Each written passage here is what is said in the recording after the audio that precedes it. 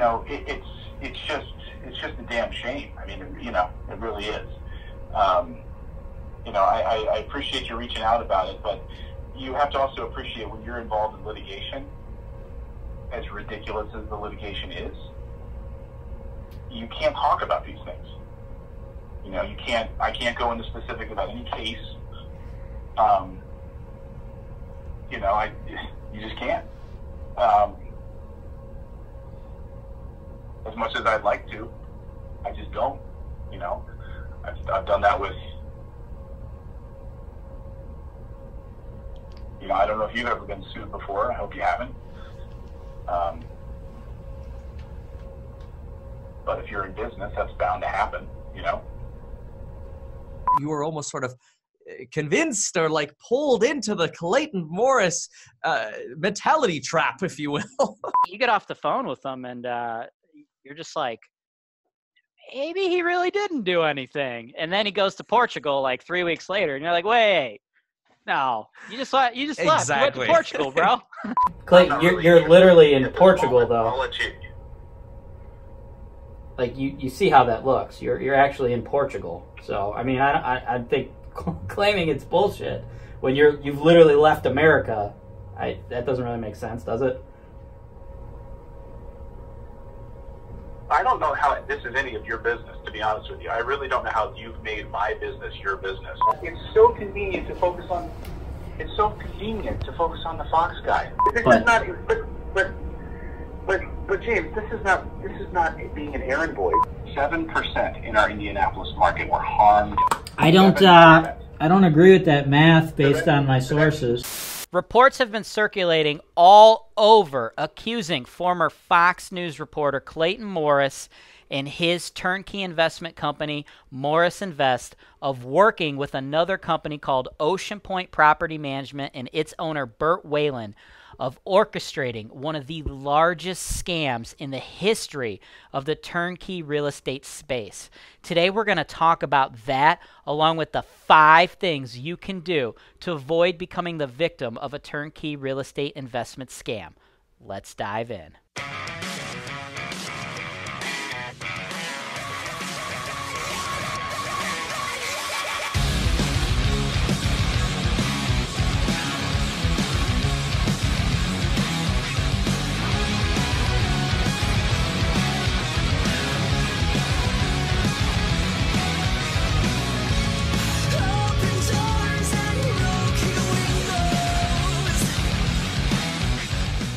Hey, real estate investors, welcome to another episode of the Landlords from Hell show here on Holton Wise TV. I am your host, James Wise. Behind the scenes, we got my main man, Tommy, bringing all of the action to you. And today's show, folks, this is a fucking doozy what we've got going on here on the Landlords from Hell show is some of the craziest stuff in the real estate investment space. There are a ton of reports and people and accounts out there that a company called Morris Invest, which is ran by a guy by the name of Clayton Morris, you may have heard of him because he was a Fox News reporter for many years. He left Fox News so he could run this turnkey real estate investment company. And uh, what we're focusing on is a lot of the properties that that company um, helped sell down in the Indianapolis, Indiana market. Uh, all of the properties down there in Indianapolis, Indiana were owned by a company called Oceanpointe Property Management, which was owned by a fella by the name of Bert Whalen. There are a lot of accusations being levied that either Clayton Morris and his company Morris Invest defrauded investors. Some folks are saying that Bert Whalen and his company Oceanpointe is the perpetrator of this alleged fraud. What we are going to do is we are going to get into some detail and talk to a lot of people who are actually involved in this. What I'm going to bring you guys in today's show, because what I'm not interested in doing I'm not interested in uh, rediscovering all the facts of this case. I have not personally invested with either Oceanpointe or Morris Invest. Instead, what I want to do is really talk to some folks who were involved in person, just get everything out there, kind of aggregate all the data, and then finishing up the show, the most important thing. What really matters here, we are going to go over the five things that you can do to avoid becoming the victim of a turnkey real estate investment scam. What I want to do right now, I want to go directly to the footage. Let's take a look. I see all the stuff on on bigger pockets and those those ass clowns. No, I mean the liberal press has had their had their. That's why the conservative press hasn't touched it because they know it's a bullshit story. Um, But, Clayton, you're, really you're literally in Portugal, moment. Though. you. Like you, you see how that looks. You're you're actually in Portugal. So I mean, I I, I think claiming it's bullshit when you're you've literally left America. I that doesn't really make sense, does it? I don't know how this is any of your business, to be honest with you. I really don't know how you've made my business your business. Where I live with my family, where I choose to live, living in. I, how is this any of your business? You also don't know the statistics, which I'll share with you now, that only 7%, 7% in our Indianapolis market were harmed and uh, in this situation. I don't. Uh, I don't agree with that math based on my sources. Well, Because But here, I'll tell you. I'll tell you right now. I'll, I'll give you. I'll give you what I got. I'll show you my hand. I'm telling you right now. Okay. We talked. You saw. You told me. at the highest level that that number is is accurate, and those numbers have been through with a fine tooth comb by authorities in a much higher position than you. You told me that you sold 500 properties down there, correct? Right? You sold 500 properties down there? Yeah? No? we didn't. Last time I talked to you, you said you sold 500 properties down didn't there. sell. We we didn't sell a single property. Okay, you when I you received uh, you received a commission of six thousand dollars for marketing 500 properties down there. Yeah, that's what we talked about last time. Me and you. I took notes. So you agree with me on that, right? Because that's I got that information from you. Are you now not agreeing with that information? I'm not, I'm not sure if that number is accurate. All right, because it was not sure it was 500 last time when I talked to you. We spoke that it was 500 properties. And Yeah. by the way, when we spoke, we spoke last, and we spoke last time off the record. So that We spoke none of that, what I spoke to you last time, is off the record. 500 properties, six thousand dollars. That was, I think, it was two million dollars. And by the way, I have those text messages off the record. Sure, So yeah. any of that is off the record. And we talked about how you made two million dollars, and then we talked about how you know if you run the math on that based on the amount of money Whalen made versus the amount of money you made, you made two million, and ruined your entire reputation, and you lost, you left your cozy job on TV, and he made roughly twenty nine and a half million. That shit's in the that shit right there is pro Clayton. It's in the video, but what I'm trying to get to uh, right now, what I'm trying to say right now uh, in regards to the 7% statistic you're giving me, if uh, we are in agreement that it was 500 properties, I have a property manager in Indianapolis. Uh, I'm sure you know him, Todd Burton. He is on the record telling me that uh, 100 investors reached out to him and he ended up working on 80 properties. Uh, 80. So 80. I don't have a calculator in front of me, but. You realize that that has, and, and you realize, and I hope this is in your piece because you realize Todd Burton's angle in this, right? I would imagine it's to to obvious. I would. It's pretty obvious what his angle is. Yes. Okay. Do you realize that he also had reached out to me to work with me and asked me to leave? Well, that like he tried to he tried to get our business. Happy to share those emails with you, but he and his partner, I think it was Dave or Doug, I forget. Yeah, I know. I know his partner. reached out to want to work with. Okay. And that those properties are not all Morris Invest properties at all. Okay. Well, and I'm not going. I'm not arguing. Managers in that town. Have you talked to? Have you talked to the other property managers? Well, like hold on. Urban House. I'm not arguing. Josh Wetzel can tell you. Well, what I'm telling you right now, Clayton, is I'm not arguing that what you're telling me that all 80 of those are. I'm not arguing with you that what you're saying is incorrect, but I, I am saying that he is on the record, and he on the record claimed that 80 from Morris Invest specifically, he his company specifically worked on 80 properties from your supply chain. That is, he is on the record saying that, and that will be in the piece. I'm not arguing with you that you're, you're telling me right now not all of them are yours.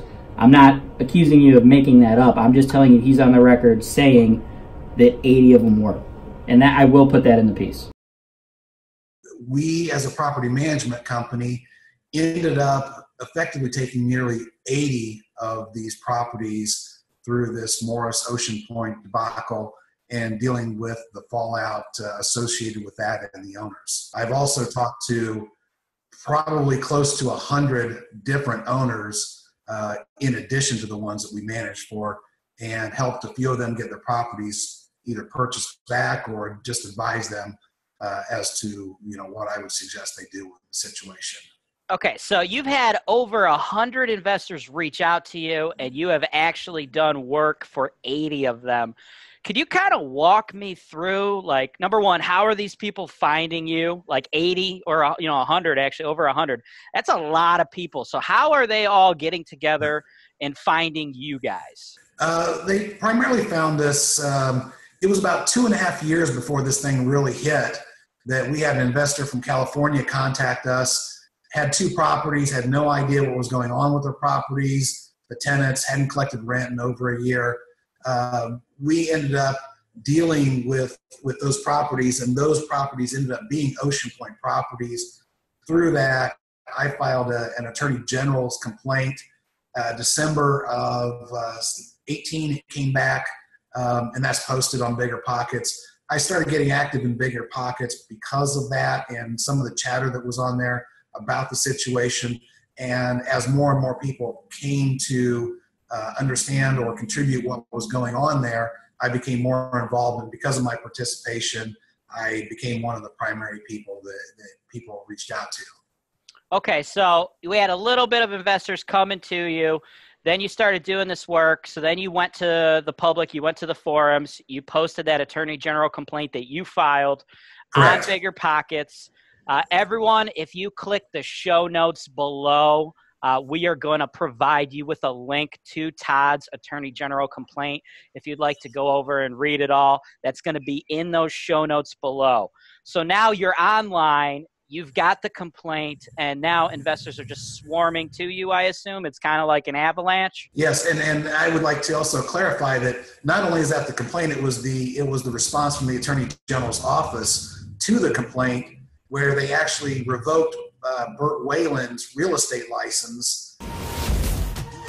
Holton Wise has a worldwide audience of real estate investors. If you are a lender, home inspector, or anyone else with a real estate related business who would like to increase your sales and exposure with an ad in one of our videos, go to holtonwise.com today. Bert Whalen is the, the primary or the owner of Oceanpointe Investments, the company that was working here locally with Morris Invest to source the properties and supposedly rehab them, do property management, place tenants. But he doesn't have a license currently. So, in fact, it was interesting because I was communicating through their Facebook page and asked if they had a real estate license at that point in time. And I got a response from them saying, no, we don't have a real estate license. We're a professional management company. But the state of Indiana, you're required to have an Indiana licensed real estate broker to manage for third party companies. okay okay. So guys we have you know bert whalen running oceanpointe. He's running the on the ground infrastructure in indy for morris invest. And todd at this point you know you're public with all this information. Investors are swarming to you can you walk me through like what a typical investor situation is like when they call you up like hey todd what's up i bought these properties from morris invest i need help where are they Like, what do they need help with? What is happening? Yeah, um, most of them, I kind of were, were initially dumbfounded. I think all of them felt like they were alone in the situation, and because of the way things transpired, and a, and a email that went out that was carbon copied instead of carbon instead of blind carbon copied uh, through the Oceanpointe and their um, AHS and urban construction and their other uh, intuitions. Uh, everybody was copied on that. And i think everybody found out that hey you know i'm not alone. This is a bigger deal. It's not a one-off situation.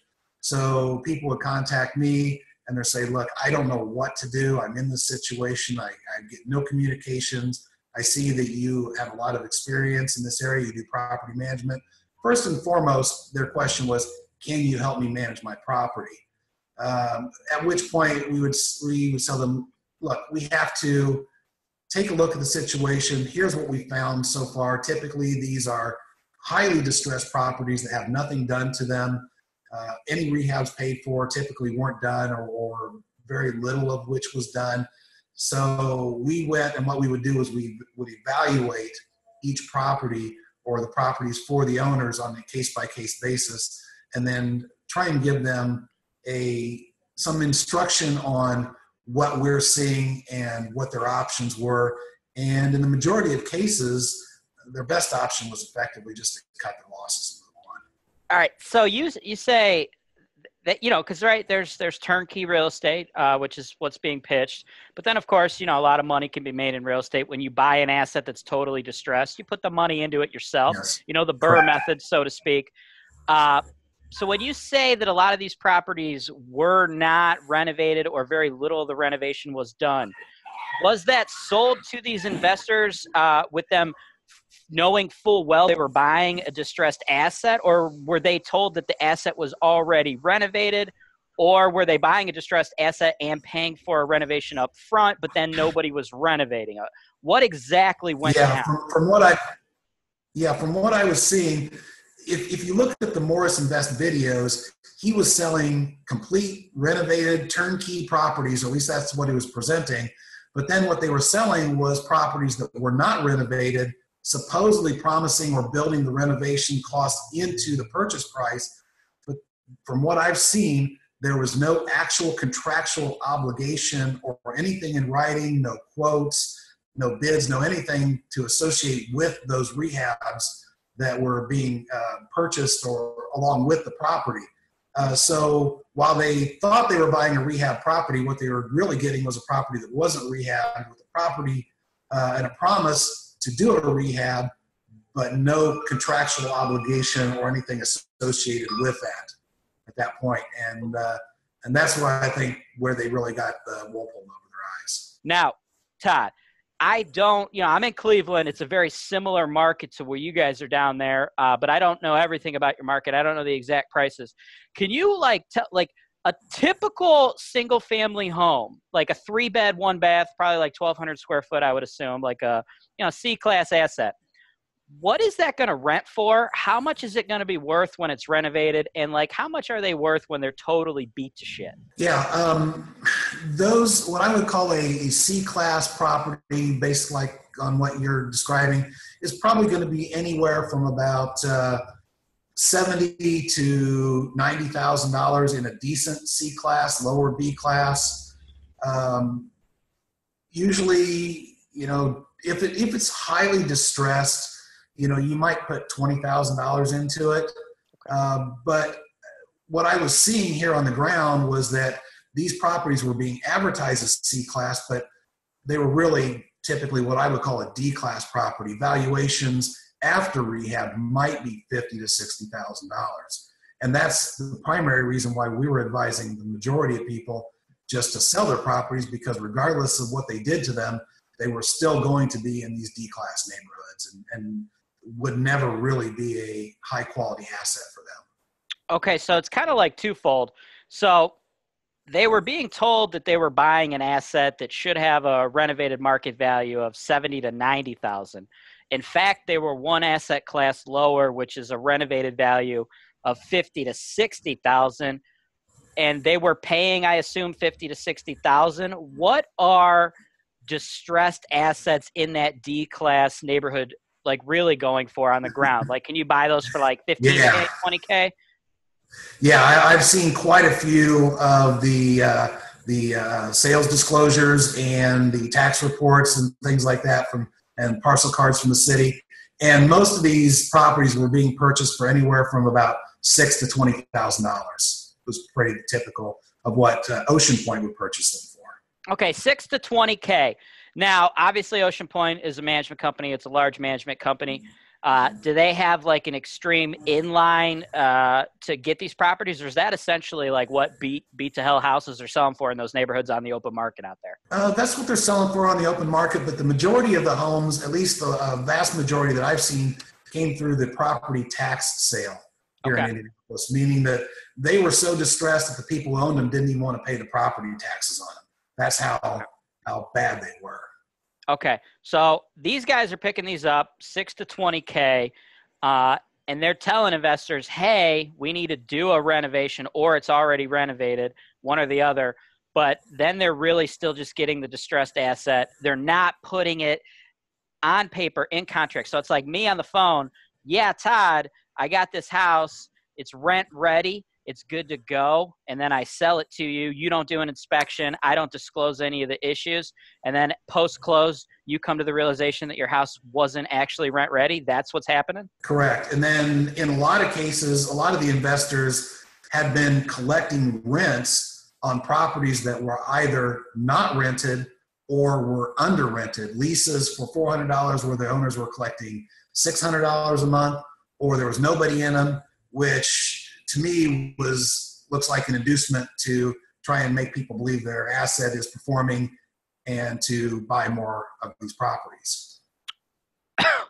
wow so you're telling me that you have personally dealt with investors who purchased an asset were told it was rented and were actually receiving their monthly rental checks from the oceanpointe morris invest companies but in fact the home was never renovated and there never was a tenant in place that's what you're saying Absolutely.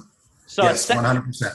so essentially, uh, that you know, by all means, appears to be a Ponzi scheme because if the money isn't coming from the rent, the only logical place that that money could possibly be coming from would be new investors purchasing new properties for this inflated price point uh, of basically 70 to 90k for an unrenovated property in a lower asset class, which really has a value of roughly 20k. That's what you're That's correct. Holy Yes, sir. smoly, that is rough. So, when an investor, how how did they find out that the rents were fake? Was that when they turned things over to you, or like how did like they come to the like if they're getting paid, how did the ball drop and they figured out that they're they were involved in essentially a Ponzi? Yeah, some, some of that. Uh, yeah, some of that was their own personal experiences. Uh, some of that was also that if if you read or speak to a lot of the investors, you'll see that I believe it was about April when every single one of them, or the vast majority of them, got some kind of notice saying that uh, their tenant had moved out and they were no longer able to collect rent and they had to do unit turns. But there were literally, you know, tens, if not hundreds, of these same letters sent at the exact same time. Wow. Um, so with these uh, 80 investors that ended up, uh, you know, trying to get you to help them pick up the pieces, what what happened with a lot of them? Did you sell a lot of the properties? Were you able to take some of them over? Like what what happened? Yes. Were they able to do anything to mitigate their losses, or what do we have going on right now? It was a combination of all those things. Some guys were able to put them back together, and we've got a few of them that are cash flowing and working. Uh, some guys put money into them and then decided just to go ahead and sell them, or put enough into them to clean them up to make, make them presentable and at least accessible to other agents and other buyers. And then some guys just walked away. In one case, I know a guy who bought a house for seventy six or seventy seven thousand and when we sold it, he ended up uh, netting seventeen thousand dollars. He lost about sixty thousand dollars. Okay, okay, that's tough. Um, Yeah. so like, But let, let me tell you something else, James. Um, Okay. In addition to all these distressed houses, they were building what they called new construction houses as well. And they were buying vacant city lots for $450 a piece, 450 to 500 and they were selling them for $68,500 with nothing more than a promise to build a home. No contract, nothing else other than a promise. They were closing and they were closing getting paid $68,500 and there was no structure at all on the property. No contract to build it, nothing. And and at this moment, as we record this interview right now, have any of those houses been built? Some of them have been built. I don't know the number of homes that have been built. I did have the subcontractor for the builder contacted me a couple of weeks ago and was telling me some things about the situation, about them not getting paid, about them stopping construction on on the properties. It's my understanding that the builder may be putting liens on those properties for monies he owed. I don't know that for sure, but I've heard that secondhand.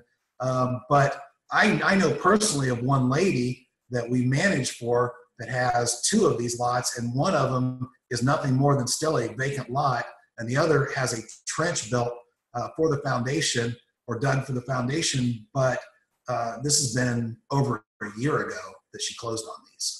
And th- these are vacant lots that she paid sixty-eight thousand five hundred for, with a real market correct. market value of four hundred fifty dollars. We are one year removed from her closing, and there is no home and there is no contractor who is out there doing this work for her. Uh, from what I'm seeing out there right now, it appears that Clayton Morris and Morris Invest and Bert Whalen and Oceanpointe are now blaming each other for miscommunications. And it just goes back to that, you know, things weren't in writing. It's a lot of he said, she said, and these guys are placing the blame back and forth. Uh, you are correct. They are blaming each other. There's been multiple occasions where the Morrises have said that they've gone to the attorney generals and they're trying to sue Bert Whalen and they're trying to go after him legally. I haven't seen anything. Bert's been pretty closed mouthed about this, which is probably in his best interest at this point. Uh, but yeah, that that is uh, correct. That they are uh, effectively blaming each other and, and pointing the finger at each other at this point in time. Uh, one thing I would add to what you were saying about the inspections is if you look at a lot of the communications and or talk to the owners like I have, they were all given being given a very hard sales pitch and being told things like inspections take too much time, we sell these, we move too quickly on them. And I would say to anybody out there considering investment real estate, if you hear anything like that, that's it. Stop at that point if they don't allow inspections, you have no need to move forward. At the end of the day, if you get a feeling that it's not right, it probably isn't. And I think most of these people knew it wasn't, but I think they got caught in in the hype and the pressure and the the goodwill of, of somebody that they trusted because that person had been a trustworthy television personality. And I think that's the play that really got a lot of these people into it.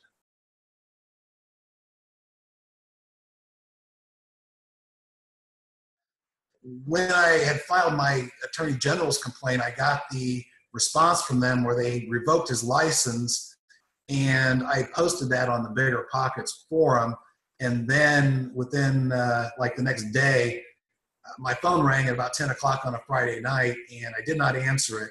I got up the next morning and I had a message, and uh, the, the message was from Bert Whalen, and we know this because we have a Vonage phone system that captures phone numbers, and we were able to see that the phone was owned by Sandra Whalen, obviously uh, related to him.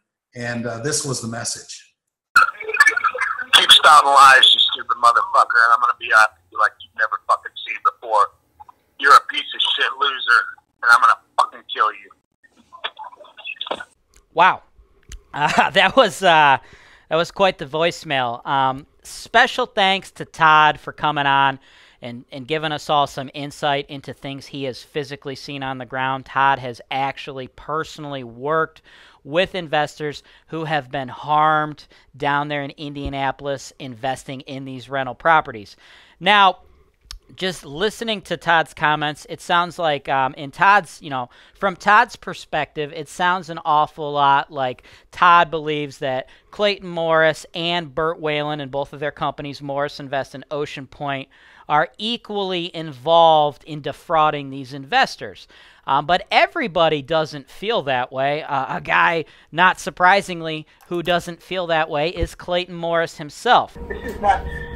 I, I get that, but this is. I'm just trying to teach you journalism. So I went to journalism school. This is not how it works when you make news videos. A source tells you something, you fact check it, or else you don't include it. Like you cannot just include some random comment from someone without and without verification of it. You, I mean, and maybe that's when you get back on camera and say, "We cannot confirm that." That's what Todd is saying. That's what 60 Minutes would do. I mean, are you? You're saying you're you're you're making a documentary. Sure. Yeah. You know, I think it's a good thing you guys are doing this, honestly, just because, I mean, I know some other people have gotten hosed probably worse than I have, but still, even at that, I mean, it's probably 20 grand that I've sunk into a property that I'm going to end up losing um, because of, you know, uh, being misled, I guess is the best thing, best way to put it. But yeah, I just want to really just want to do this just to make sure that other people are aware uh, before they, they jump on anything like this, you know? what I find interesting about some of your comments is, um, even to this day, as someone who's already gone through the process, and in your own words, it was not a positive experience for you.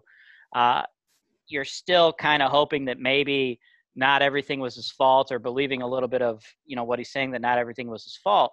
The the big crux of Clayton's argument uh, with a lot of the class action lawsuit issues that you had mentioned is that down in Indianapolis, Clayton had put a lot of trust into a gentleman by the name of Bert Whalen who ran a company called Oceanpointe.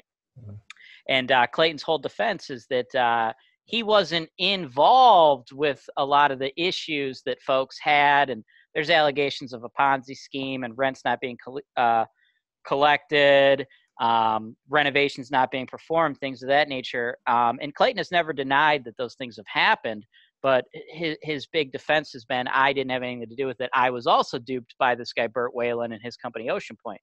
What I find really interesting about your story, Brent, is you didn't buy a property from Morris Invest in the Indianapolis market. Your property's in the Detroit market, which had nothing to do with Bert Whalen or his company Oceanpointe, but yet you've had some negative experiences. I only invested in one property with Morris Invest. Um, thankfully, I wanted to make sure I did my due diligence before going further, um, and I put uh, cash uh, forty six thousand nine hundred bucks into that first property upon ini- initial acquisition. Were you originally planning on uh, buying more than one rental property and something gave you pause, or was your intention to just buy one to see how it went? No, my original intention was to buy more, but I wanted to play this out and just see how it went. How much money are you going to lose on this investment with Morris Invest? Well, what it's looking like I'm going to lose once I sell, you know, hopefully here in the next month, is that uh, I'm going to lose about eight grand on um, the price differential from acquisition to sales price. Uh, I'm losing money; It's actually depreciated in value, and also with all the repairs that have been in, I'm about 12 grand in the hole. So all in, you know, and the cash flow over the course of holding this too has not been positive. It's been slightly negative. So I think I'm just right at twenty-two thousand dollars in the hole with this uh, beginning to end with this investment. But even from the very beginning, there were some red flags, some caution flags that kind of made me step back a little bit. So I let it play out longer, even though they were sending more deals my way continually, just to see how that first property was going to really pan out in the long run. And thankfully, I did because uh, I would have lost a lot more money if I would have kept investing. How, what red flags did you see that gave you pause? Well, um, I mean, the, the first big red flag that gave me pause was I didn't receive a, an initial rental check for probably two to three months after buying the property. And there was supposed to already be a tenant in place. And then when I started doing some digging, I found other uh, things that I've been misled on throughout the acquisition process that uh, then uh, allowed me to take a further step back and evaluate, you know, all the other uh, issues that were in play. What other things were those? Well, what happened was when I went through the first uh, initial steps of vetting properties and looking at properties that they had, uh, you get the, the kind of pro forma sheet that they send you. The one particular property that really interested me was a property in Detroit, and it was advertised at 800 bucks a month, in rental income, and then it was a purchase price of 46,900. I thought the price to rent ratios looked pretty good. Uh, later on down the line, I found out that uh, the rental income that had been received on that property was only 700 bucks a month and not 800. And upon talking to the property manager, they informed me that Morris Invest told them to keep collecting 700 and see if they could uh, increase that to 800 over the course of the year. And so they just went ahead and advertised it at 800 as opposed to 700 they, they had been receiving. So you were given notice from them that the official marketing stance from Morris Invest was to advertise the property at a higher rate than it was actually receiving. That is correct. Yep. They told the management company to continue to collect 700, even though they had advertised it at 800. And they told them, if you can, over the course of the next year, see if you can increase that to 800. So it was a complete fabrication up front on the performance sheet. And you did not find out that the rent was lower until after you had closed on the property. That's correct. It was probably maybe three to four months in after closing the property that I found this out. I started doing due diligence with the property manager, asking a lot of questions. And I also found out that the tenant was not an employee where they said she was an employee. They said she was an employee of Google. Turns out she was unemployed and living with her mother from time to time. The mother was living in the house with her. So there was just a, the situation wasn't what it was portrayed to be. Now, when you say they said she was a, an employee of Google, who specifically is they? Is that Morris? Yeah, when I'm when I'm mentioning when I'm saying that, whenever I go through the process of, and I was working with an investment counselor with Morris Invest, so it wasn't Clayton Morris himself. It was a, a guy named James who's on their team. Um, he was sending me details of the properties as I was vetting them, and so this particular property was advertised at 800 bucks a month, market value of 46,900, and the tenant was a Google employee in Ann Arbor, Michigan. This was in the Detroit market, and so the the the fact that she was a Google employee was false, and the fact that the rent being collected was 800 bucks a month was false. I presume after you found out that the rent was actually $100 a month less than Morris Invest Company had advertised to you, and you also found out that they had advertised to you she had a job working for you know a very prominent company, Google. Uh, I, I, presume you are a obviously upset, and b you probably reached out to Morris Invest uh, to ask him to rectify the situation. What happened when you reached out to him?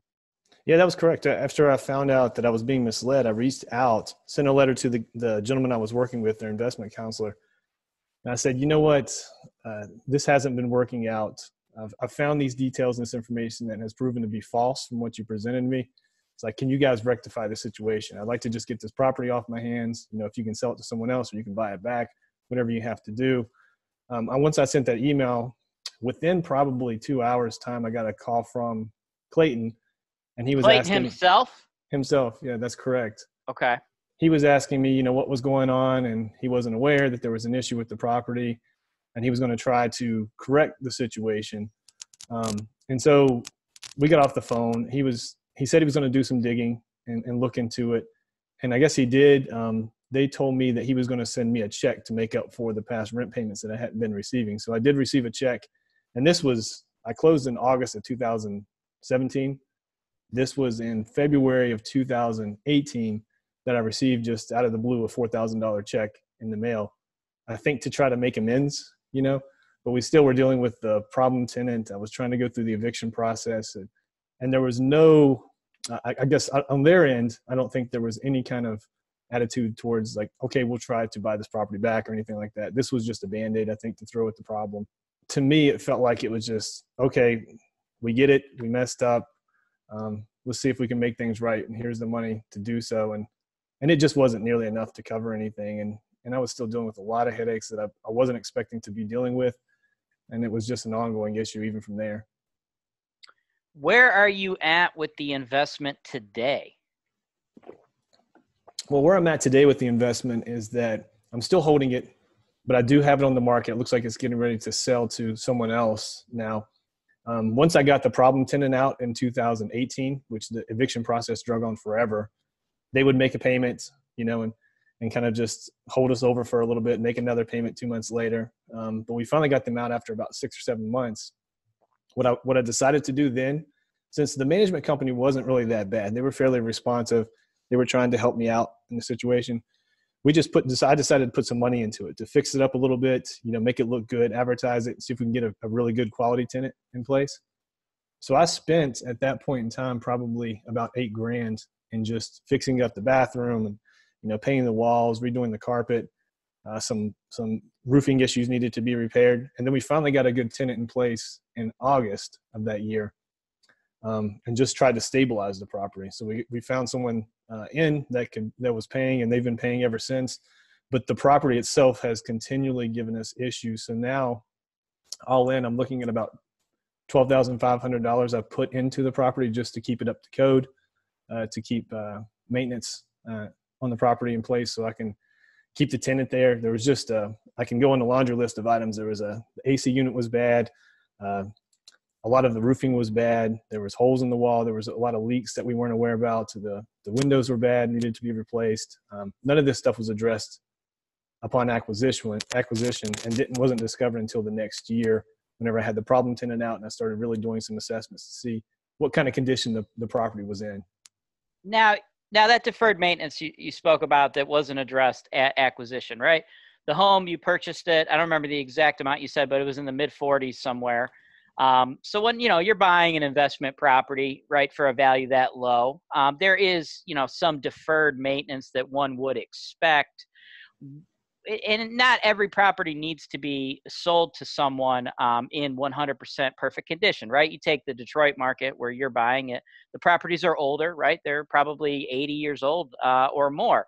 So not every property is going to be perfect. But what should always happen during any sale, of course, is a complete and transparent um, offering, right? That you need to know what you're buying. There's nothing wrong with buying a fixer upper so long as you know that you're buying a fixer upper. Do you feel that Clayton Morris and his team were transparent with the condition of the property when you were buying it? No, I, I don't believe there was transparency there at all throughout that process because what I was told through the investment counselor was when I was to acquire this property, and and the pictures I got were were they weren't detailed. You didn't get to see a lot. I got to see it from Google Maps view, and I, I, I did some evaluation of the location. But what I was told was that once I closed on the property, there would be a rehab process of about two to four weeks to getting the property spruced up, you know, in good condition. It needed to there needed to be some repairs, but I asked specifically for a sheet of the repairs that were to be made, and I didn't get that sheet. Um, and so as I was checking on the property, even af- after acquisition, uh, they told me they were going to keep me updated on what was happening. I didn't get an email. I didn't get a phone call, you know, for two or three weeks. So I eventually reached out to them and said, "Hey, what's happening? You know, I haven't seen received a rent check. I haven't heard from anyone about what was going on with the um, repairs."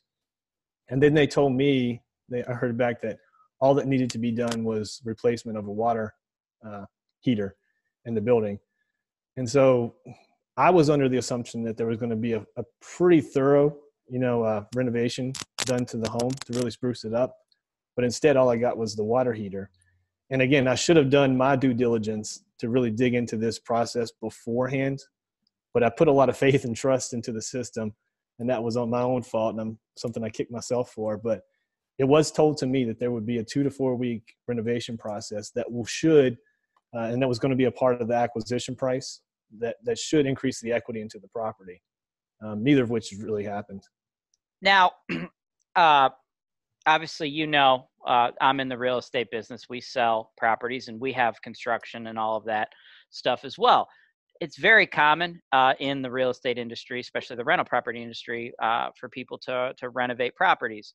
But what is almost completely unheard of, um, except for the, the stories we're hearing about the Morris Invest Company and all of the investors, is selling a property, telling investors that they're going to need to do a renovation, collecting that money as part of the purchase price, and then not even including a line by line scope of work in regards to what needs to be done. That is just not not normal in our industry. Do you feel like Clayton Morris and his company specifically targeted investors who may not know that and perhaps had their guards down? Like, did you know at that time that it was not uh, an industry norm to agree to purchase a property up front that's going to have a generalized renovation but never actually be given that list? Like, did you know any of that at this time? I, I don't think I knew at that time that that was the norm to not receive the list of renovations to be done. And quite frankly, at that point in time, I feel like I was a bit naive just because I had some blind faith and trust into the system. I mean, they're pretty good at getting you hyped up, and these properties are going to perform for you. You know, we're going to put some work into it. You're going to build some equity. You know, by the time you know the repairs are done, the home value is going to be higher than what it was whenever you purchased it. You know, these are all the, the things that you're kind of told. And so I put some trust into the system, which I'm kicking myself for, obviously. But yeah, it, it could be, I think, that they're targeting people who maybe just buy into the enthusiasm and into the sales pitch there.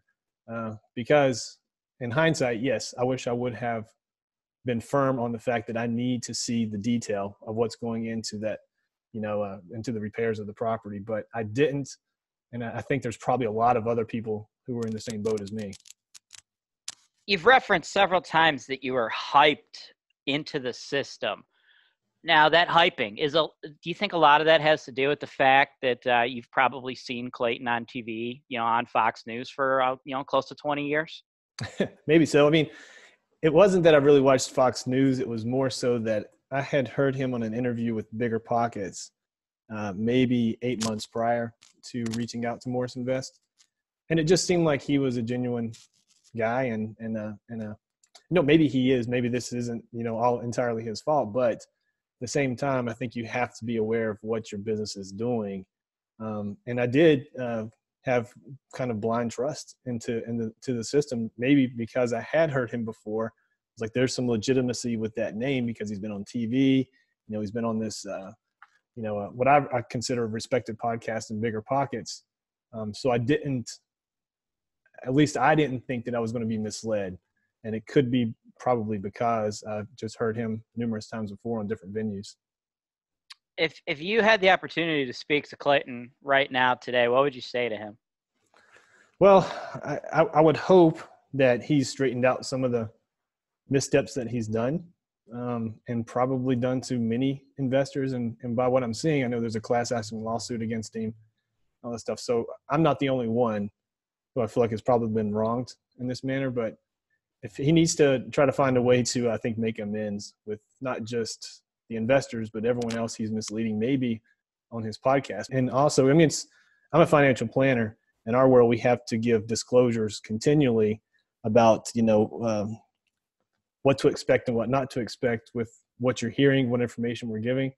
Um, to blindly just be able to give information and facts and figures to people without portraying also the risks involved, I think uh, shows a little bit of a lack of character. So hopefully he's he can clear that up on his end. So, given that he has, he's in the middle of all these these legal situations, and um, he's now chosen to leave the United States of America.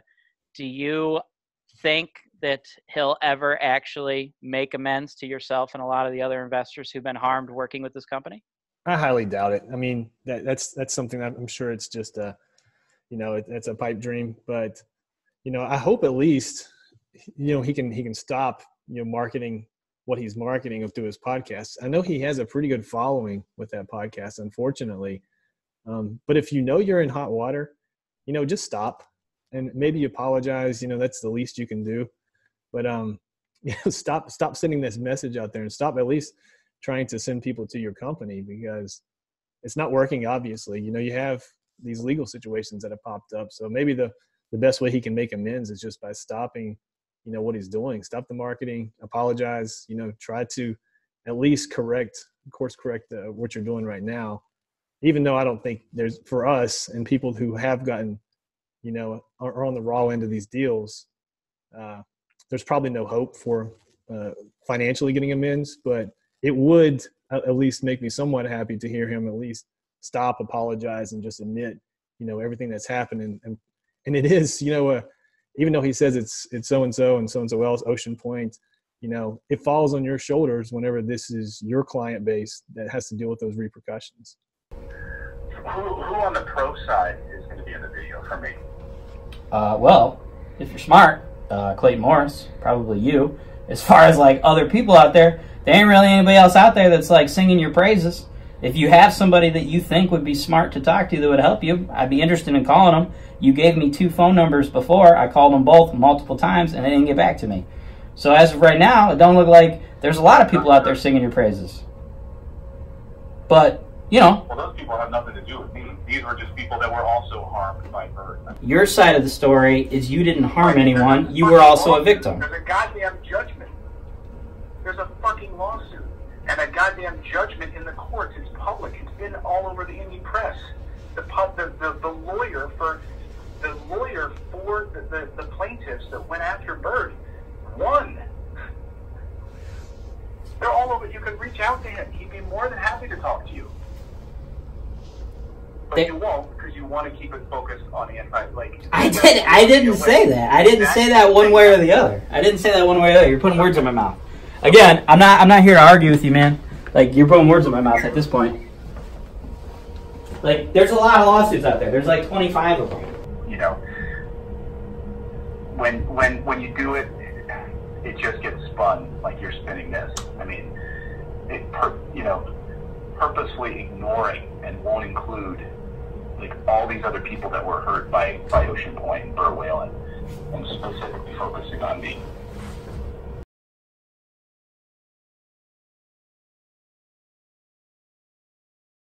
I mean, it, it's definitely more than just an average guy that's selling homes. You know, it, he he quit. He seemed like he had quite a passion for for re- rental real estate. So enough to quit a Fox job. And that's when I decided I needed to talk to Mr. Morris himself. So what did I do? I left a comment on his YouTube channel and said, Hey, Mr. Morris, hit me up via text on my personal cell so we can chat about what is going on here. And on March 30th, that is exactly what we did. Clayton Morris and I had a phone conversation and I took notes, no recordings or anything, just notes on the conversation that we had. And in that conversation, Mr. Morris was very open about what had happened. And the very first thing that got me thinking, aha, I have a little bit of a better picture of what's going on here was when Mr. Morris said, quote, he had a relationship he believed in, end quote, with a company that, quote, managed my personal properties as well, end quote.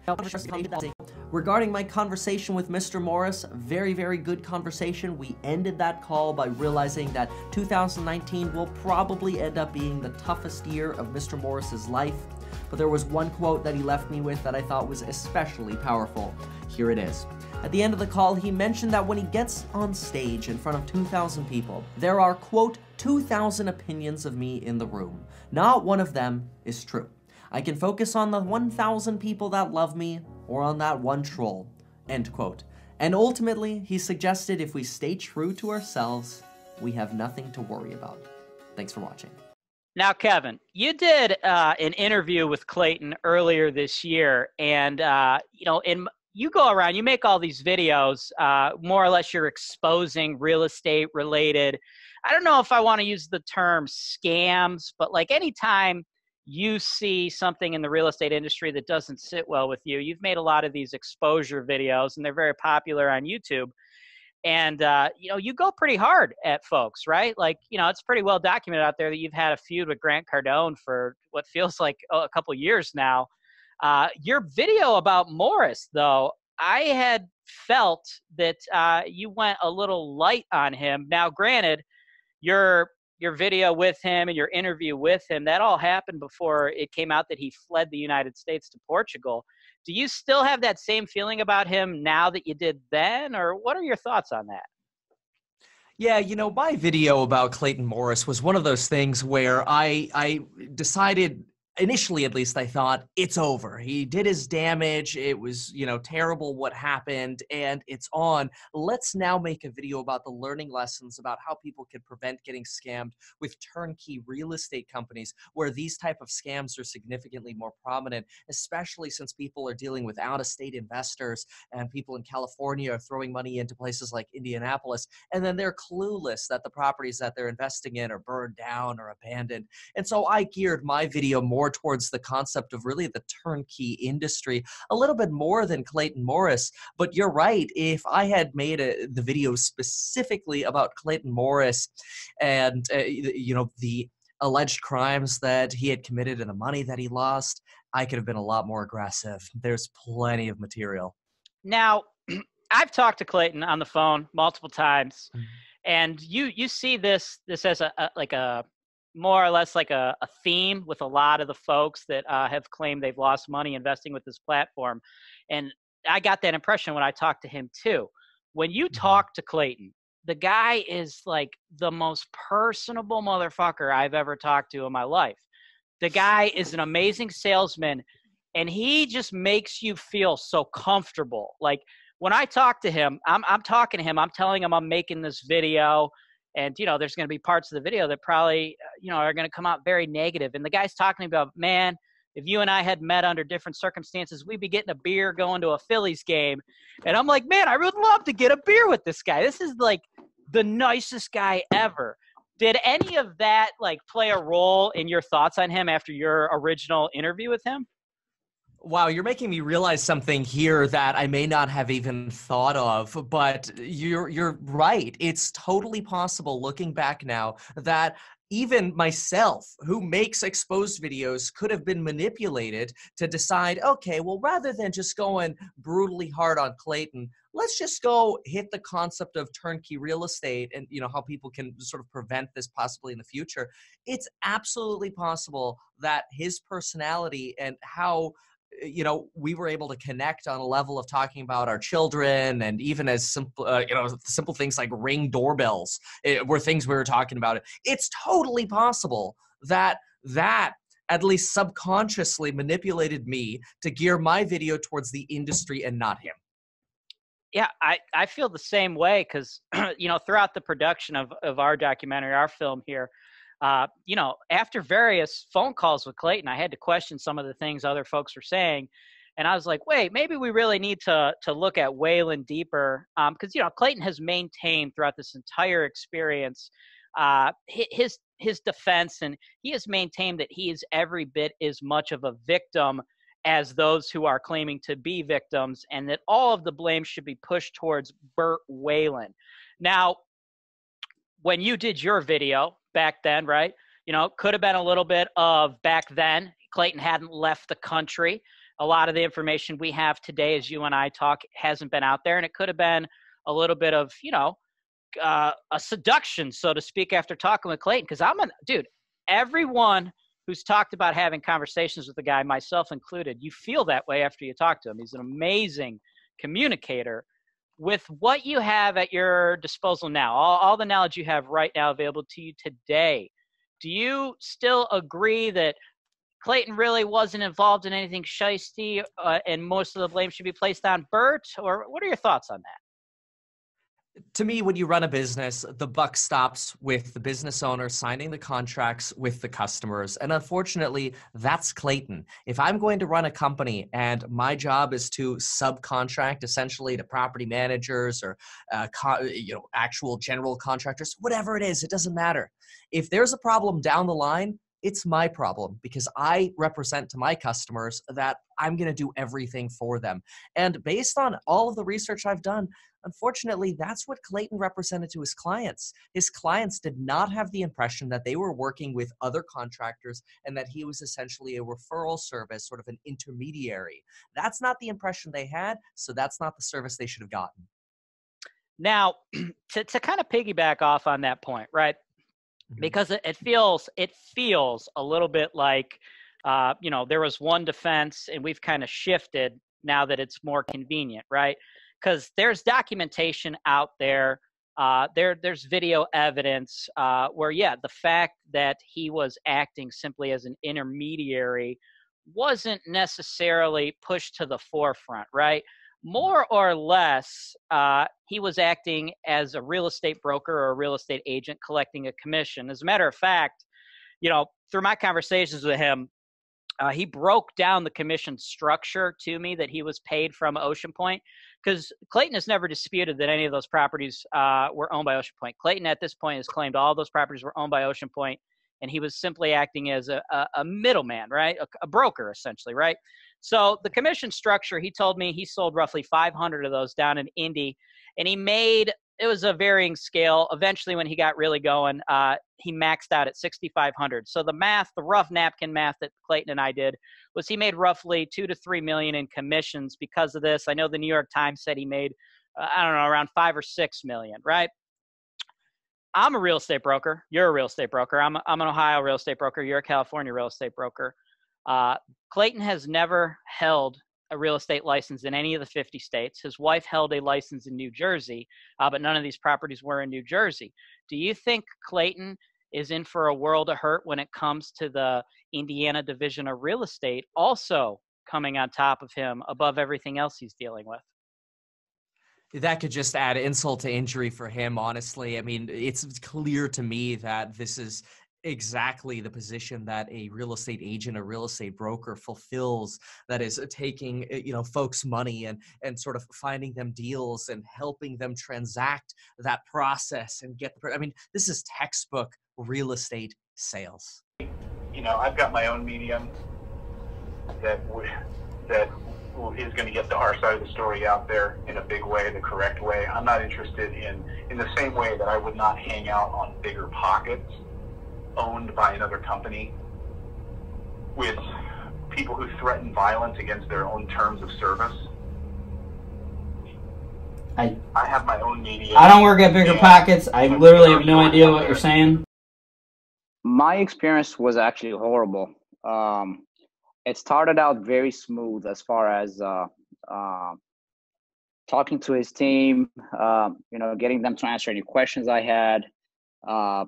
Basically, the money transaction was smooth. Uh, communication was was pretty good in, in the beginning, uh, but from that point on, um, uh, the first house went fine. Uh, then I purchased two more properties from them, and then uh, three months later is when uh, everything went downhill.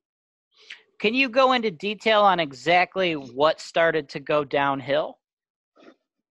Sure. So I, I purchased my first property uh, sometime in, uh, I believe, November of 2016.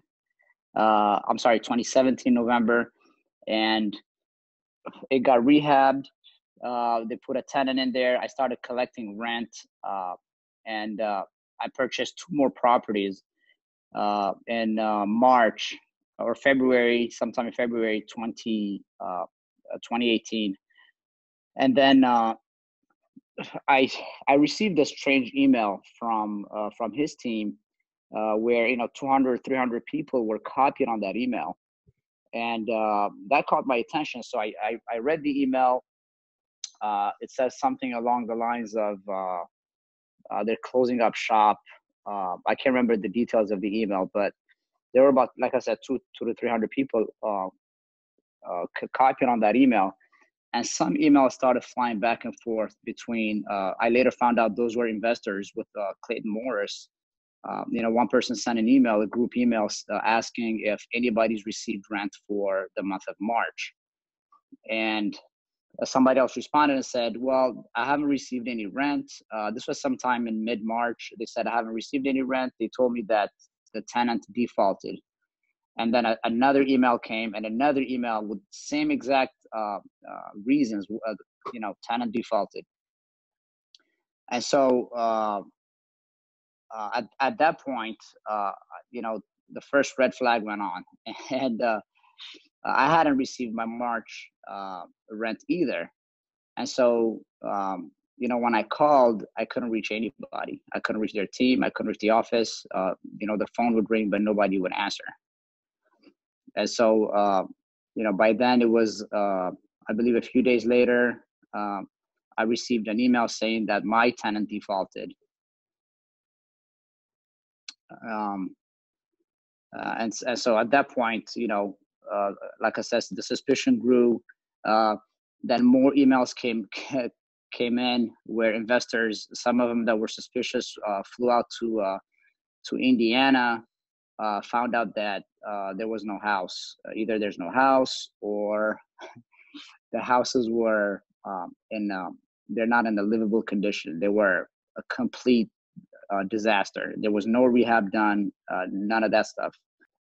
And at that point, I decided uh, I decided to fly out to Indiana. Now, when my first house was rehabbed, I had hired a, a local agent there to do a walkthrough, uh, you know, take pictures, uh, FaceTime. uh, And so I was okay with the first house. You know, it looked, it looked like it was in good condition. Uh, the second and third homes, now they were in the middle of a rehab, so I had no idea what condition they were in at that point. I wasn't even sure if, if there were any houses. So I decided I decided to to see for myself. Uh, basically, uh, booked a ticket, uh, fly, flew out to Indiana, and uh, the the way Clayton Morris sold this idea was he had a whole team behind him. Now he was the only face of the company. I only knew of Clayton Morris, and I pretty much uh, invested with him. Uh, his team, he uh, what he claimed was he had a team of um, rehabbers. Then once they were finished rehabbing, they would just turn it over to a uh, uh, a property management company, which was at that point, you know, I had no idea it was a, a, a like an outsourced company. I thought it was part of the Clayton Morris team. And so, And why did uh, you why did you feel like it was part of the Clayton Morris team? What specifically made you feel that you would be dealing with Clayton Morris and his direct employees the entire time? all of his YouTube videos, that's exactly how he sold it. Okay. So it wasn't it wasn't a third party property management company that he just turned it over. It wasn't any of that. Everything that he said was my team, my team, my team. And so um and at that point, like I said, so when the suspicion grew, I just decided to uh basically look for another reputable uh property management company. And, and, and at that point, the emails, I mean, we were just going back. There was a bunch of emails that were going back and forth between, uh, you know, these investors. And And these so are all the other investors uh, in March of 2018 that were all CC'd on this large email chain. Correct. Okay.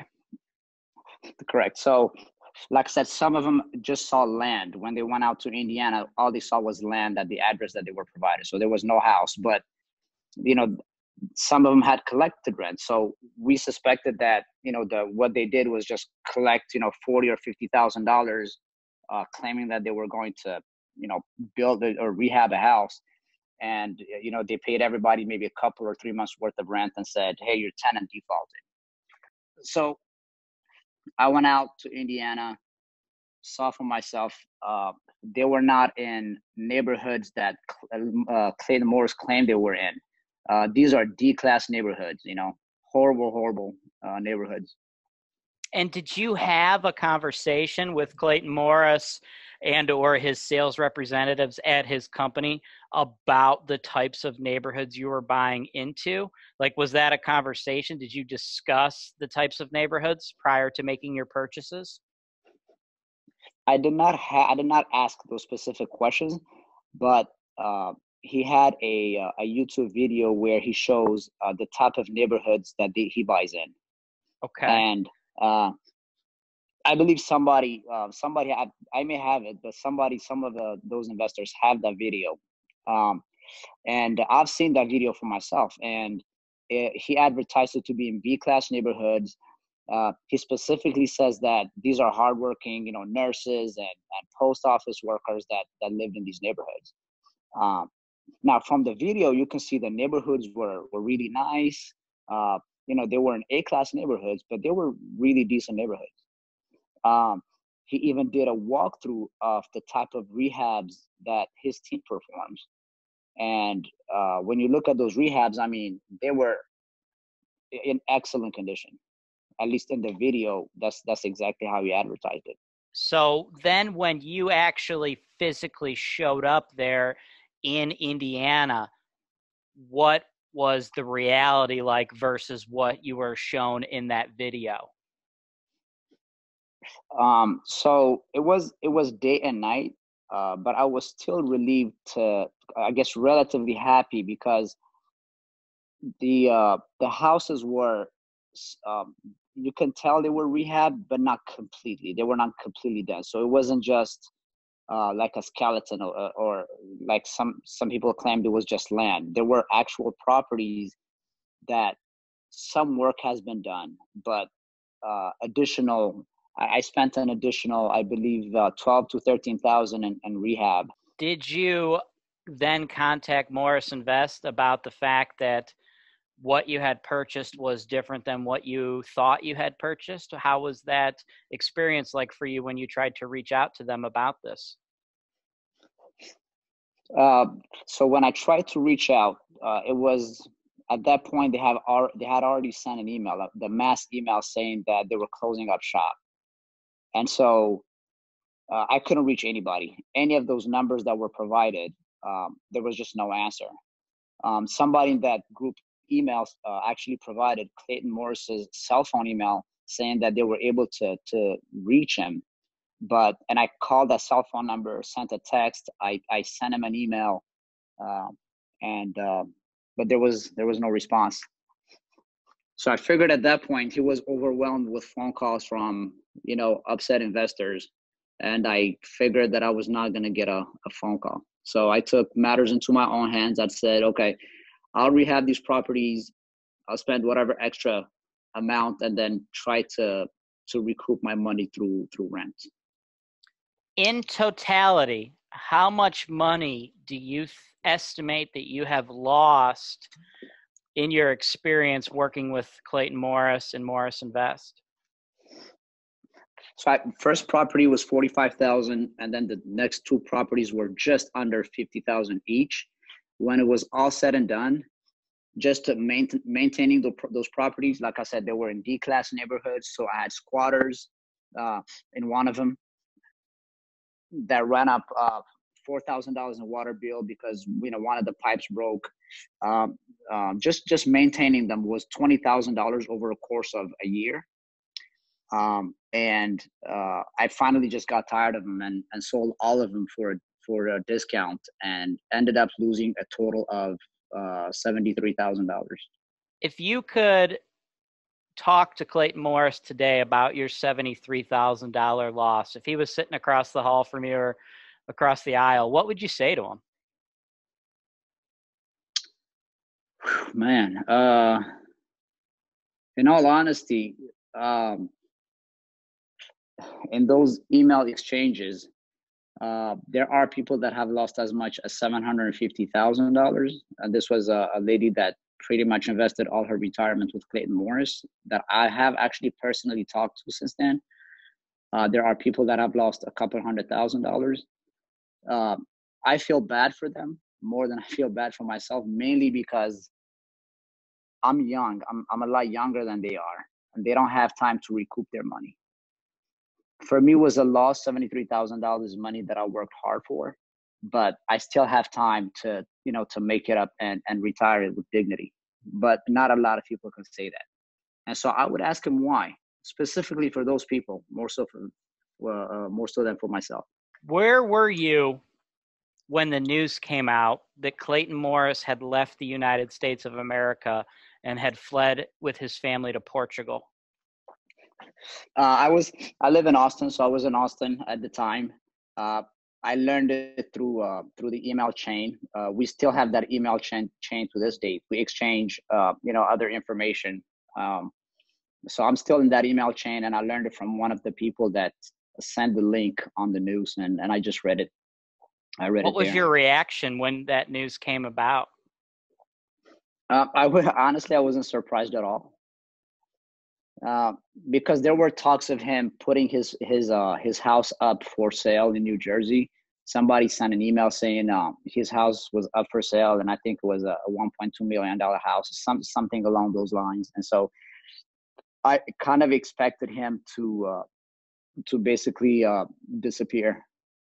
When I saw that email, I knew that the next step was he was either going to run for for Canada or somewhere out of, out of the country. So it wasn't a surprise.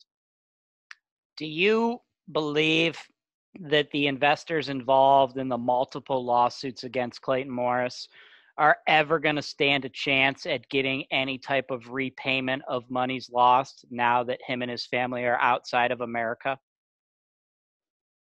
I honestly don't. I, I, I was actually in one of those lawsuits, and I uh, I just dropped out because uh, one, I mean, the lawsuit takes forever to just to get information to gather information, but two, um, I honestly don't think there's any money left. So, and that's that's the reason I I just dropped out of the lawsuit.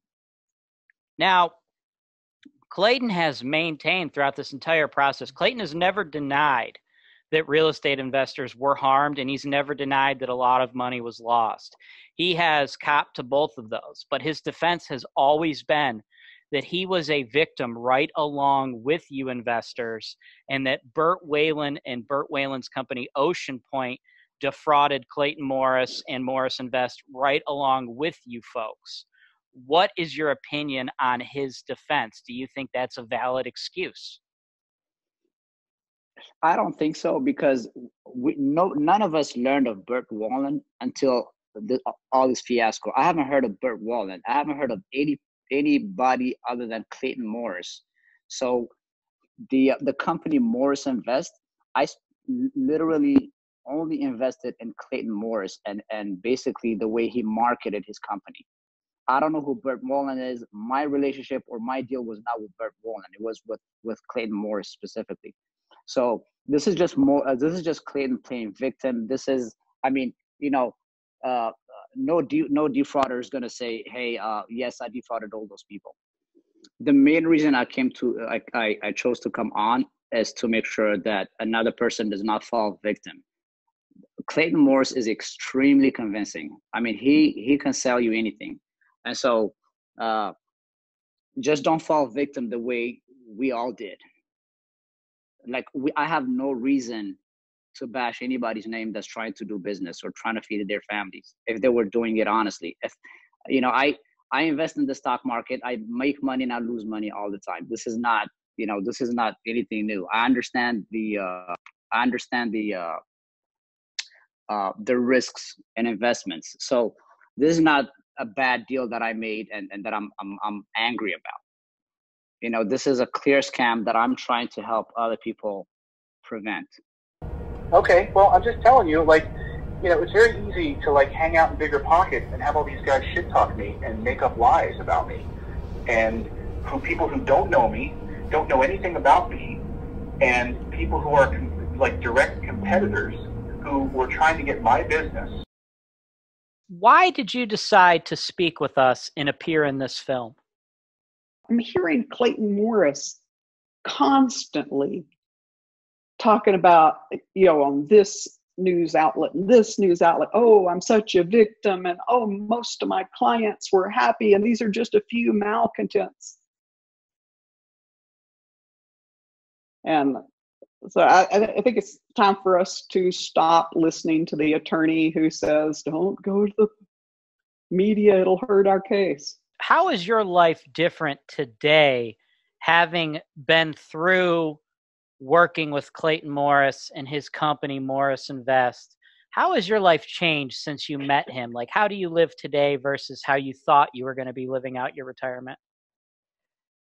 Well, before him, I lived in a half a million dollar condo in Honolulu. I worked for a fabulous country uh, company, traveled all over the world. Uh, I was one of those people who couldn't tell you what the price of anything was because I didn't have to worry about the price of anything. If I wanted it, I bought it. Yeah, I lived four blocks off of uh, Ala Moana Beach Park in Honolulu. I, you know, if I wanted to, you know, to fly to Europe to be with friends, I could fly to Europe to be with friends. I spent probably six thousand dollars a month. Uh, yeah, about six thousand dollars a month without even thinking about it. Still having plenty of money to save. you know, so I'd have it ready to throw on a scam. Today, I live on less than $60 a day. And I live in Medellin, Colombia. Here I can live, my apartment here is uh, under $18 a day. I spend about $5 a day on food here. Uh, I own a small amount of things. They're in a storage unit in Honolulu now. That's my biggest expense all year long is that storage unit. So I no longer have a car. I sold all my jewelry. I sold my condo. Uh, I have less than twenty thousand dollars in the bank as an emergency fund. That's all that's left of that money that I saved back to keep me going while my uh, investments were maturing. Uh, one reason I don't want to be on video today is I haven't had a haircut in ages because I can't afford to have a haircut. I've budgeted for a haircut at the end of the month when I'm back in the US. So I, I, I went from, you know, not worrying about spending $30 on a single glass of wine to not being able to spend $30 on a haircut. Wow. That that's just heart wrenching. Um, Sam, that is uh that's a heart wrenching story. Our heart goes out to you. How did you end up investing with Clayton Morris and his program? Well, I was uh, coming up on retirement. I was scared of the stock market in uh, 2016. And I knew I wanted to get into real estate. And I lived in Honolulu. The amount of money I had to invest at the most would have got me three um, properties. And In Honolulu? in Honolulu. Okay. I, I had never thought about, you know, being an absentee landowner. Okay. Uh, and then I was, um, I'm, I'm a, you probably guessed already, I'm a bit of a tech geek. okay. So I watch just about all the podcasts on uh, Tech TV. okay. And Clayton Morris, as you know, wrote an app that I used all the time called ReadFast. And he was on one of the shows and mentioned that he had this real estate podcast. I, I felt like I knew him. You know, it's not like I watched Fox TV or anything, but I knew him from, you know, technology podcast. And uh, his wife, Natalie, was a friend of a friend. And, you know, when he started talking about having his podcast, I was like, oh, I need to learn about stuff like that. Let me start listening. So I was actually at sea. So I had to wait till I came into the next port to download all their po- past podcasts. So navigating a ship back and forth across the ocean every night on watch, I had one of my earphones in listening to his um, spiel. Okay, totally and- sucked in by it. So so his shows are what propelled you to invest and how much money uh, did you have available to you to invest with him? I had seven hundred and thirty thousand dollars. That was my four hundred one k, my IRA, my pension IRA, and I cashed out a full life, uh, a whole life uh, life insurance policy, and I took a HELOC out on my house. And, and you invested all of that with Clayton Morris? No, I saved back about a, enough money for a year's living expenses because even though he made it sound like you know in a couple of months you'd be up and running, I figured it'd be more like a year before I could see any income coming off of rental houses. Okay, so of that uh, 700 something thousand you had, that was everything you had, your life savings. Do you know the approximate number you ended up investing with Clayton's program? About six hundred and ninety thousand. Okay, and and how did that go? What happened to that 690,000 when you invested it with Clayton's program? Did you make money or did you lose money? Oh no, I think right now I'm running at about fifty-two percent loss. How did you spend that 690,000? What did you buy?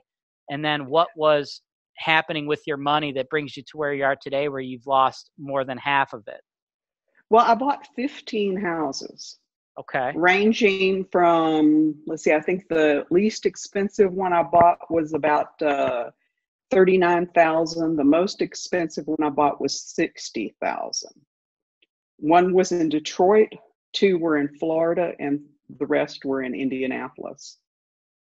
And everything seemed okay at first. I was planning on going up and visiting the houses as soon as I was able to uh, cut loose from selling my home in Honolulu and uh, start. I, I was planning on traveling uh, when I retired. Now I had to retire to get a hold of my money, and so I uh, didn't want to live in Honolulu anymore after my retirement. I was selling my place, decided you know to start traveling, and uh, so I was gearing up to you know go around the U.S. and visit all my properties and see them. I wasn't expecting anything to be wrong.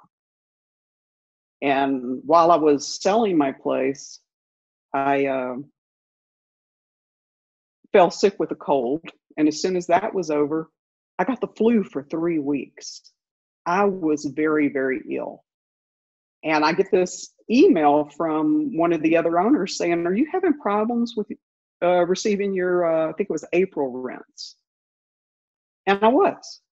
And then I, what had happened was she had gotten an email where all the owners and a lot of other people were copied in without it being blind copy. So she had this huge mailing list and she just did a broadcast email to all of us going, Are you having these issues? These are the issues I'm having. And I was like, Yes. You know, they just told me that uh, one of my tenants had stopped paying their rent and, uh, you know, they were starting an eviction and then we started bouncing things back and forth. Uh, you know, I found out it was all a scam. Well, It's can, can totally we take a step back? Uh, could we just like paint a, a more detailed picture? So it's roughly April. You receive this email. Other people are carbon copied on it. So you Mhm. talked to a couple other folks that were also having trouble collecting rent. No, no, I wasn't the one that uh, got the email. The email was got by a woman named Amanda. Okay. And she just made a mailing list out of all those uh, copied in addresses, Okay. assuming that you know they were uh, clients of Morris Invest. And we just we started up a, a Google group Okay. and started just talking about our experiences. What were some of the other people in that Google group experiencing that led you guys to believe that this could possibly be a scam? Well, see, I had no suspicion whatsoever because it was just a few days of, oh, we're sorry we didn't get the April rents for this property. Uh, and I was very sick too, so I wasn't, uh, you know, like digging into it, trying to find out what's going on. I had no suspicions, and it was when everybody started telling their stories. Uh, you know, people saying, "Oh, I went to see my property; it's got squatters in it," or some of my other properties, they say they're paying rent to Morris Invest. I've never received rent. So I hired people to go look at my houses. And that's when I absolutely was convinced it was a scam.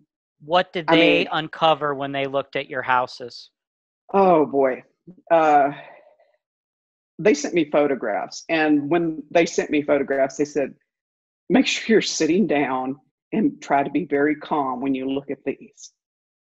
Uh, one house was missing half its back wall. They had been sending me photographs of their rehabs. And my new property manager sent me photographs that were just horrifying. Uh, they they laid, laid carpet over a hole in the floor so that they could take some pretty pictures of one property to send to me. These are uh, slum houses. You know, they're not the Class C properties. They they're Class D properties. Uh, Now, when you hired these these individuals to to confirm what your properties look like, and they're sending you these photos, the home without a wall, the home where they had laid carpet over a hole in the floor. I, I would presume the first thing you did uh, is reach out to Clayton Morris and, and his company Morris Invest and ask them what's going on. What had happened when you did that? no reply. Now, this is the kicker. a couple of weeks after they refused to answer any of my emails, um, they uh, contacted me and offered to sell me another house. How many times did you? That's crazy. How many times did you contact them after? Because I would assume, right? If I'm you, I'm, I'm retired. I spent the majority of my life savings uh, with this man who I've seen on TV and who you said you started to feel like you knew him. Um, everything seems like it's going well. You find out from all these other people they're having problems. So you hire third parties to go corroborate their stories, and you find out that your homes that you thought had tenants in them and were paying you rent are, in your words, slums. One, in your words, was missing the back wall. One, they had placed carpet over a hole in the floor. I imagine, you know, that was probably very shocking and hurtful to you. How many times did you reach out to Clayton Morris and Morris Invest? I mean, you had to be frantic at this point, no? Well, actually, hearing so many other stories, I only did basic. You know, basically sending emails to every email address I had, text messages to every phone number I had, just basically saying, you know, you've ripped me off. What are you going to do about it? No answer. I'm actually a pretty pragmatic person. I knew I had lost everything. And that is the basis that I went off of was you've lost everything. You've done something really stupid. Now, throughout this entire process, Clayton Morris has maintained that he was merely a middleman and he was merely connecting investors like you with property managers in these markets. And the big market where you had the majority of your loss was Indianapolis. And the main person that he was connecting investors with was Bert Whalen and his company Ocean Point. I'd any- never heard of Bert Whalen until the uh, emails started going back and forth among the owners. Never heard of him. Clayton Morris, if you listen to his podcast, makes it sound like Oceanpointe is his company. Okay. So when you were actually going through the process to buy these properties, you thought you were buying them from Clayton Morris? Yes, and the first property they sold me, I actually bought directly from Clayton Morris. As in Clayton Morris had signed your purchase agreement? Yes. And basically, I questioned them when the next one was signed by someone called Natalie Basin or something like that. And they were like, oh, yeah, she's just the office manager here. You know, So Clayton they- can't sign every one. So so just to clarify what you're telling me now. The first property you bought, you have no idea who Bert Whalen is. Clayton Morris himself actually signed your purchase agreement. But the Mhm. second property you bought, another person named Natalie signed your purchase agreement. This confused you. You asked the Clayton Morris Invest team who she was, and they clarified to you who she was. Who'd they say? They said she was the office manager. Now, you know, 2020 hindsight, I realized that anytime I was asking a question that could have legal issues, they phoned me. They did not answer an email on anything that could really come back at them. And of course, I interpreted this as them being very uh, helpful and personal and taking care of me. I it wasn't until later I realized, oh, they were making sure not, nothing like that was in writing. But in these phone calls, Mm-hmm. what were they doing? Were they trying to assure you? Like it sounds like you had a Oh. little bit of doubts. Were they assuring you that no, you're dealing directly with Clayton Morris's properties? Oh yeah, yeah, yeah. That uh, and you know, plus you know, Natalie's sister apparently worked for Oceanpointe. You know, it made it seem like it was just this family business. So uh, you know, I assumed that this uh, Natalie Basin or whatever her name was was uh, part of his family because it seemed like every time you turned around, a family member was involved in this. So it came across to me as a very you know, family-oriented thing. When was the first time that someone from Clayton Morris or his team, Morris Invest, or him himself, Clayton himself, when was the first time someone ever mentioned to you that your that they believed your problems were in fact with Bert Whalen. When was that ever brought to your attention? Or was it? Well, I, uh, after this all blew up, I got no personal contact from Morris Invest except for his uh, shield trying to get me to buy another house. Uh, everything basically was letters sent to the group telling us that, oh, no, no, no, no, Bert Whalen, we don't have anything to do with them. Clayton's was conned. He found out Oceanpointe was a fraud. He set up this new company, switch all your properties to this new management company. And uh, so at first, yeah, I, I thought, yeah, Helga poor man, he's been conned. So I did switch them over. And then I found out that uh, this new company was apparently the same company with a different name. And but at this time i was being bombarded with emails from all these other owners people actually going to the offices of ocean point and pounding on the doors. You know and finding out that oceanpointe in jacksonville was a ups drop.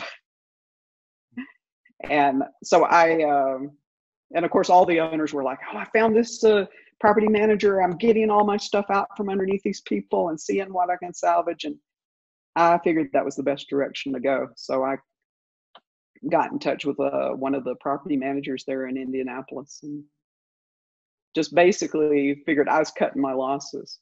Like talking to you now, this is because I've given up on the lawsuit. I've I've come to terms with the fact that I've lost all that investment. Why have you given up on the class action lawsuit? Does it have anything to do with the fact that Clayton had fled the United States to go to Portugal? Yeah, yep. Yep, that has a lot to do with it. And the fact that, uh, you know, it seems like in the atmosphere of the U.S. judicial system right now, if you're a, you know, average white guy who rips off people with your tongue instead of with a gun, nothing's going to happen to you. Especially when you take off and move to Portugal. So, what was the tone like in your group, your group of other investors who you've, I would imagine, built somewhat of a support system with? What was the tone like when the information, when the articles came out that Clayton had left the United States? The general tone is that all of us are just like figures. I, I think we're beyond being shocked about anything anymore. I mean, my story is bad, but my story is not the worst. One guy, uh, the house burned before he bought it, and he was never told it burned. Uh, one person bought uh, one of Clayton's new build houses. Uh, when he went to see it, it had no doors and windows. They had simply put siding all around the house without putting doors and windows in. Wow. Uh, I mean, it- it got to the point where I wasn't even reading them anymore. It was just too much for me to handle. I mean, I had a really good income before I retired. And the only reason I retired when I did was because I figured I'd run out of good luck. I was in a dangerous job and I figured, you know, if I kept at it, I would end up dying in it. But I thought I had everything settled where I'd have a decent income in my retirement.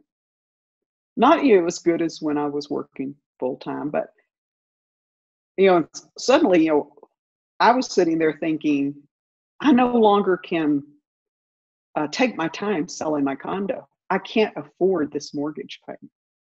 You know, I've, I've got to take uh, whatever they offer me.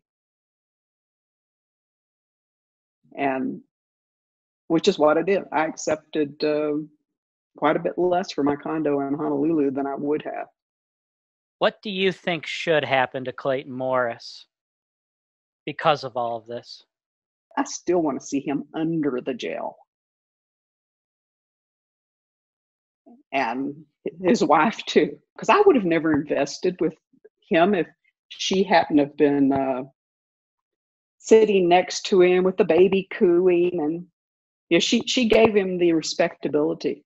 If he had just been some guy, I, I wouldn't have invested. Do you think that Clayton Morris intended to defraud you and others, or do you think he was really duped by Bert Whalen? I think he was a fraud. I think he knew what he was doing. Because if you look at the stories he tells on himself, oh, you know, I made this bad investment, I did that bad investment. In retrospect, looking at those, you know, he was trying to get something over on somebody with those investments. He just ended up short with it. And no, I, I don't. I don't believe his story about being a victim. I think he should be brought back to the United States, stripped of everything he owned, and serve a good long jail sentence. I see you. I see you in BiggerPockets, blowing Todd Burton, hanging out in bigger pockets, and Jay Hinrichs. Like you're hanging out with these guys, back patting each other on the back, back and forth. you know the train wreck that that has come from Morris um, that we're hearing about anyway, or alleged train wreck. So I, I was thinking about that prior to our talk today. Is you know how did we protect the investor, and how did they get you know goofed up with the Morris situation? And it was pretty easy that you know there was no lender involved. It was all cash, and there was no third party taking care of the rehab, making sure that the rehabs got done and then allegedly or based on you know on, online commentary that you see um, there was a lot of um, folks that never went never looked and just blindly trusted what they were being told and a lot of what they were being told just simply wasn't true so we were able to um, bring a, a, a big amount of safety net to the to the out of state investor at the end of the day, they got a rehabbed house, they got a refi done. Very few people paid cash, um, or they wouldn't come to us if they had cash. There was no way to do that. But you know where where it happened with the Morris is there was no third party like we were the lender, you know, protecting um, the rehab money and making sure the rehabs actually got done. And in those days, like I said, I would go out and vet the turnkey operator, make sure they had property management in place, make sure they had crews that could do the rehab, so on and so forth. I probably did over 2,000 of those loans. That's how I see that.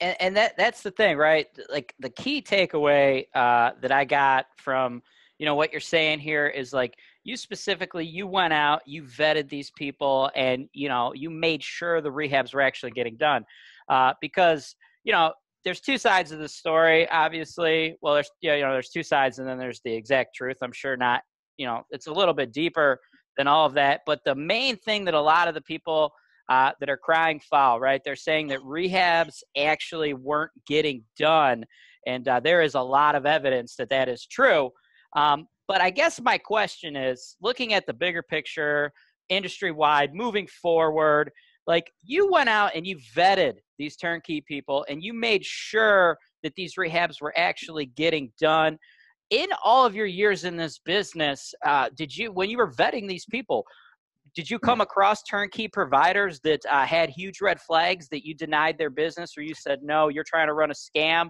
Like, I'm sure you've run into this before in your long career, yes? Oh, yes, absolutely. And, and normally it wasn't, um, they were out and out um, trying to run a scam. They were just not ready for prime time. So we'd get in two or three deals deep. The rehabs weren't getting done. We couldn't get the refi, and that vendor was turned off. You know, no longer did it. That's that's the amazing part of what happened in Indianapolis is, you know, it went on for a couple years and hundreds and hundreds of properties. If those folks had been using a lender, a hard money lender, or any kind of lender, that would have that whole situation would have never got out of control like that. And it's the same thing with, um, you know, West Coast uh, marketing companies, which, uh, you know, we know all the big, you know, turnkey marketing companies. They'll get going with a trusted market specialist or vendor, and all of a sudden they're not quite ready for, you know, they have uh, blowback or, or bad deals. You'll see that online sometimes, and they'll they'll just stop working with that vendor. But it never gets out of control they may have to go in and do damage control on you know half a dozen or a dozen properties but it's never you know 500 or a thousand like you know we're we're allegedly hearing about in indianapolis Do you find uh, that it to be credible that Clayton was simply an honest working uh, victim right along with the other victims here, or is that total nonsense? I think it's total nonsense because he went into other markets and he's selling the exact same high risk property. I, I think it's more a greed factor and or an ineptitude factor. He doesn't really know what he's doing. He doesn't realize. I mean, you saw his videos. Oh, D class, C class property, the renters are easier to manage than A class. I mean, anybody in the rental business knows that that's just patently op. It's the opposite is true. and, and, and so he's i mean i don't i doubt whalen came up and told him that and he just believed it i mean this is his own his own marketing i mean it's just everything that he would talk about uh, was almost directionally opposite of what reality is in the field the other thing james is um, you know i wouldn't loan on properties that were the worst of the worst right Okay. so i go out i check out the market so the the investor back east had me to rely on because I'm at the end of the day, if they didn't pay me back, who's taking the risk? It's me. So it wasn't wasn't the investor. You know, I I mean, it, they just stop paying, I end up foreclosing on them. But at the end of the day, it was our it's our it's our capital at risk. So you have an alignment of interest. You have the buyer, you have the lender, and the lender is going to. And today we see that in the lending business. They they vet you know the operators pretty hard um, to uh, before they're going to loan money. And in your operation, so you're you're loaning money on a short-term basis. Uh, so like you know those systems are in place because nobody gets paid. You don't get paid if the buyer themselves actually has a reasonable product that they could refinance out to that residential financing. So that's good to have those in place. Uh, through those people that you did cut off, you had stated that uh, you know they weren't trying to run scams necessarily, but you know they weren't ready for prime time. They weren't you know totally ready to get into this. So maybe they had good intentions, but like were you seeing guys that uh, you know they just didn't have the infrastructure built up and, and you could foresee it getting out of control and is there anyone specifically that you'd care to speak to that you did shut off very early who later on went to build up something a little bit bigger on their own that is similar to what we're seeing today with what happened in indianapolis Uh, not really. The guy, the guys that I, I shut off back, you know, we're talking 10, 12, 15 years ago. I, I, I don't even remember who they are, most of them. And it was so short lived. Um, I don't really know any of them that have gone on. Um, I do know of one that's all public record that I can speak to where I never got started with them. They, they came to visit me in Oregon and laid out their business model. And I just told them, you're, you know, this is, you're going to fail. And why why were they going to fail because they were buying the cheapest property, the Okay. cheapest property, just like Morris did, buying five, ten thousand dollar houses. So we know those are those are the roughest, toughest neighborhoods, hardest to sustain um, rental income on. And then they were setting up um, their their background. The guys that were setting the program up, their background was financial advisors and annuity salesman.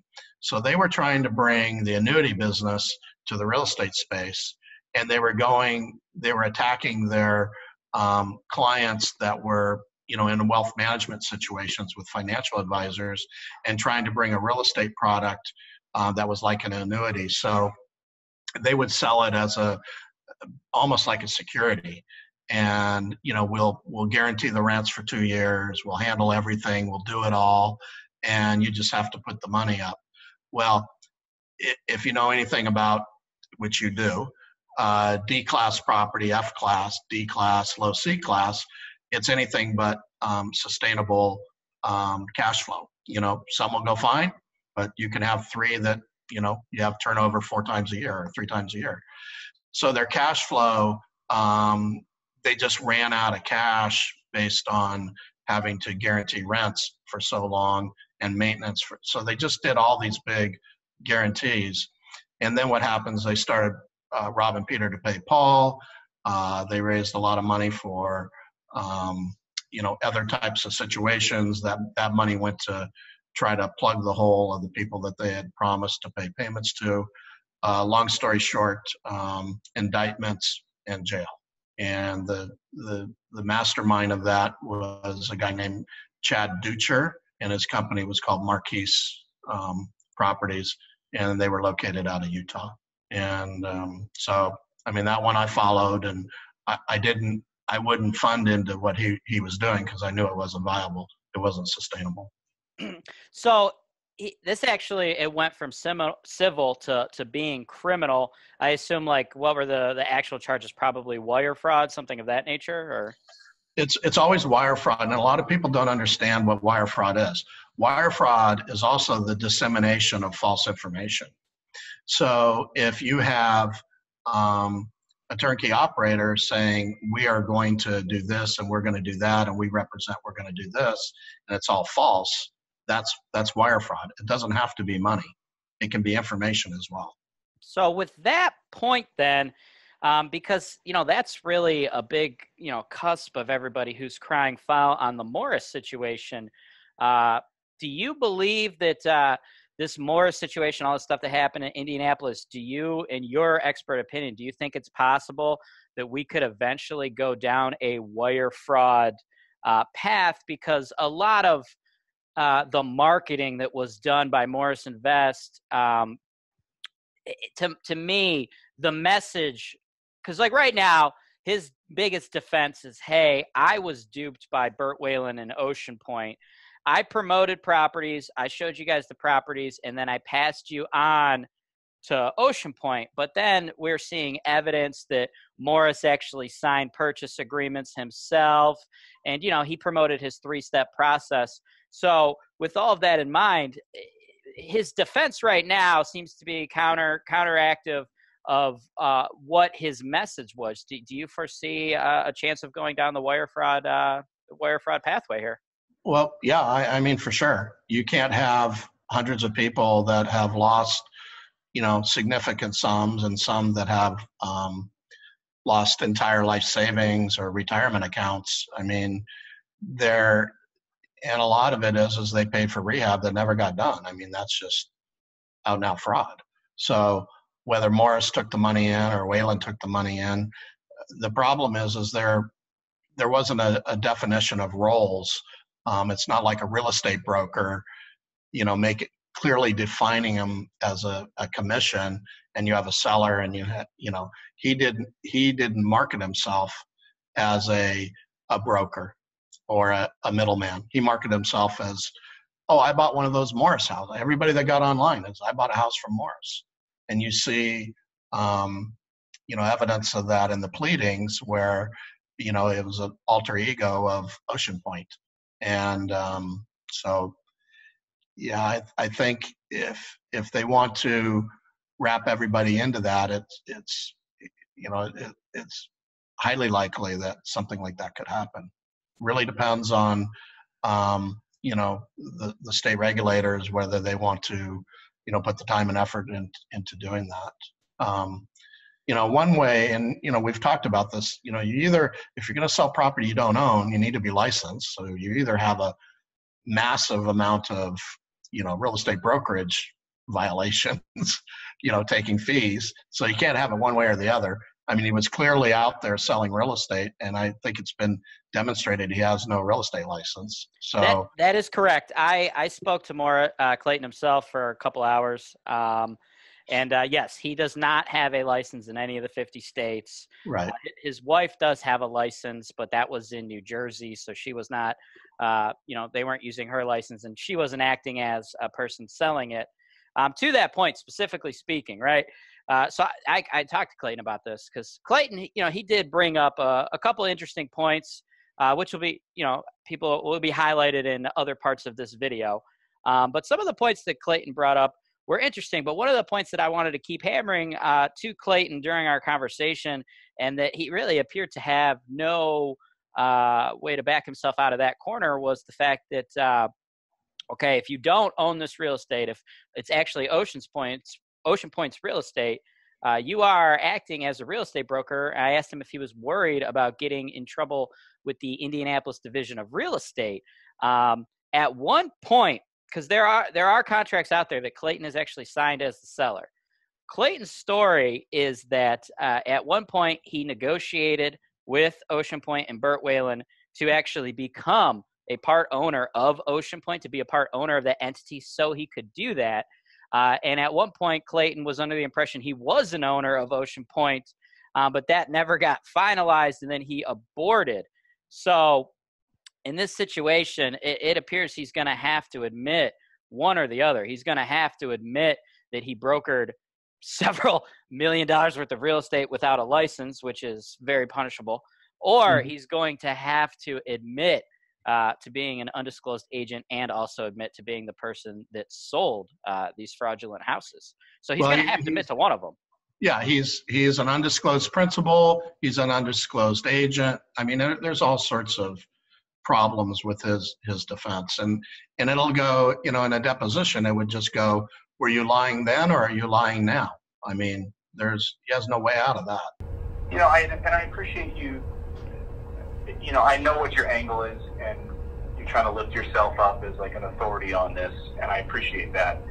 But you know, if you're going to take the same tactic and strategy as the liberal press that they totally ignored for the sake of clickbait, when reporters would tell us that they specifically were not going to include other people that were harmed because they wanted to focus on the Fox guy, just to drive traffic.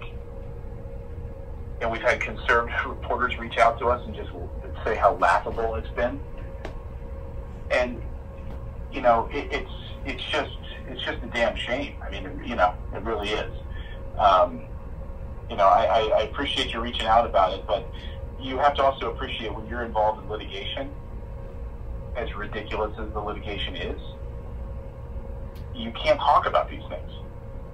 You know, you can't. I can't go into specific about any case. Um, you know, I you just can't. Um, as much as I'd like to, I just don't. You know, I've, I've done that with. You know, I don't know if you've ever been sued before. I hope you haven't. Um, but if you're in business, that's bound to happen. You know. I would imagine this is a rather difficult story to tell. Why come on and, and, and tell your story to the general public? Um, it is hard to tell. It's um, been very stressful and it's embarrassing. I mean, I'm an educated person and I took my time um, taking this step to, to do this and to have it turn out this way is humiliating. It's embarrassing.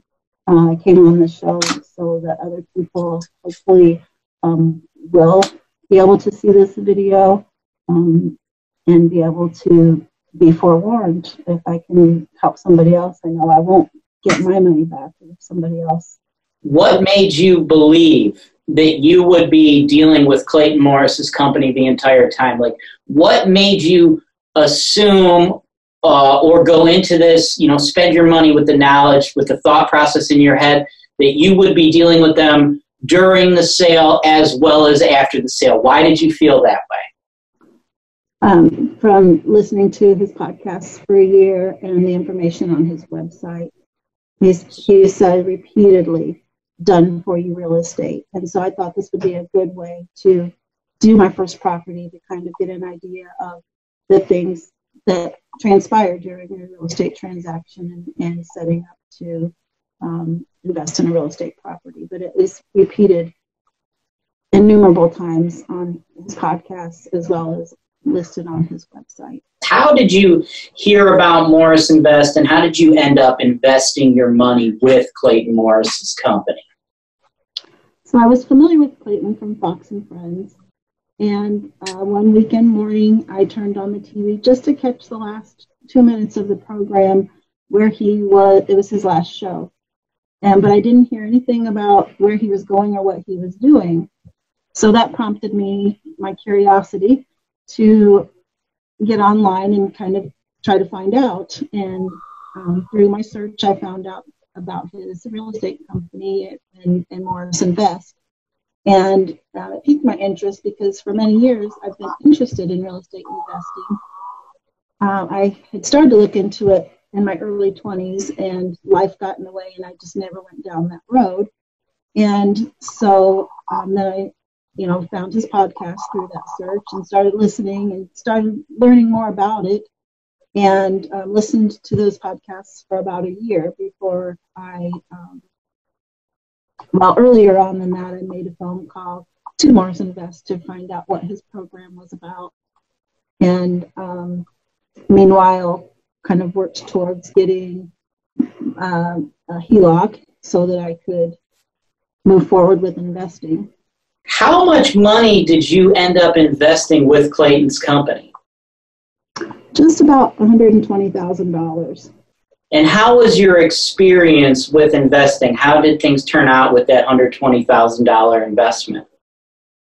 So uh, in July of 2018, we purchased our first property that was, um, I think, about $57,000. This was located in Detroit. It was um, advertised as a tenanted um, rehabbed property. And then a couple of weeks later, as that was finishing going through the process, we decided, well, we would go ahead and purchase our second property. And um, so then our second one was in the same area, the Detroit metro area. And that one was, um, I think it was 60, 62,000, 65,000. And that property was also advertised as a completed rehab tenanted property. And after closing, I found out that that wasn't true. It had not even been rehabbed, let alone had a tenant. And I showed them the listing that they had sent me that said that information, that it was tenanted. And they said they didn't know how that got on there, but that it was not tenanted. It was not rehabbed yet.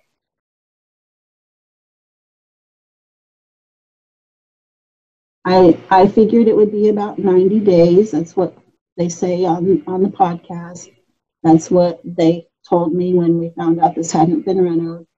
So um, getting closer to that 90 or maybe about the 60 day, I you know emailed Morris and said I wanted to check in to see how this is going. And they sent some pictures at some point. Um, 90 days came and went, and I asked about the property again. Uh, this was, they said that the rental had been completed. They were just waiting on replacement windows. So no tenant was placed yet. Now we're getting, you know, into November, December.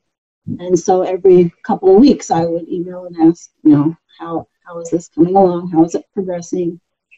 I'm still waiting on the windows and, and it always was curious to me of why we were waiting on windows months down the road when the rental supposedly started in July. You know, why is it six months to get windows?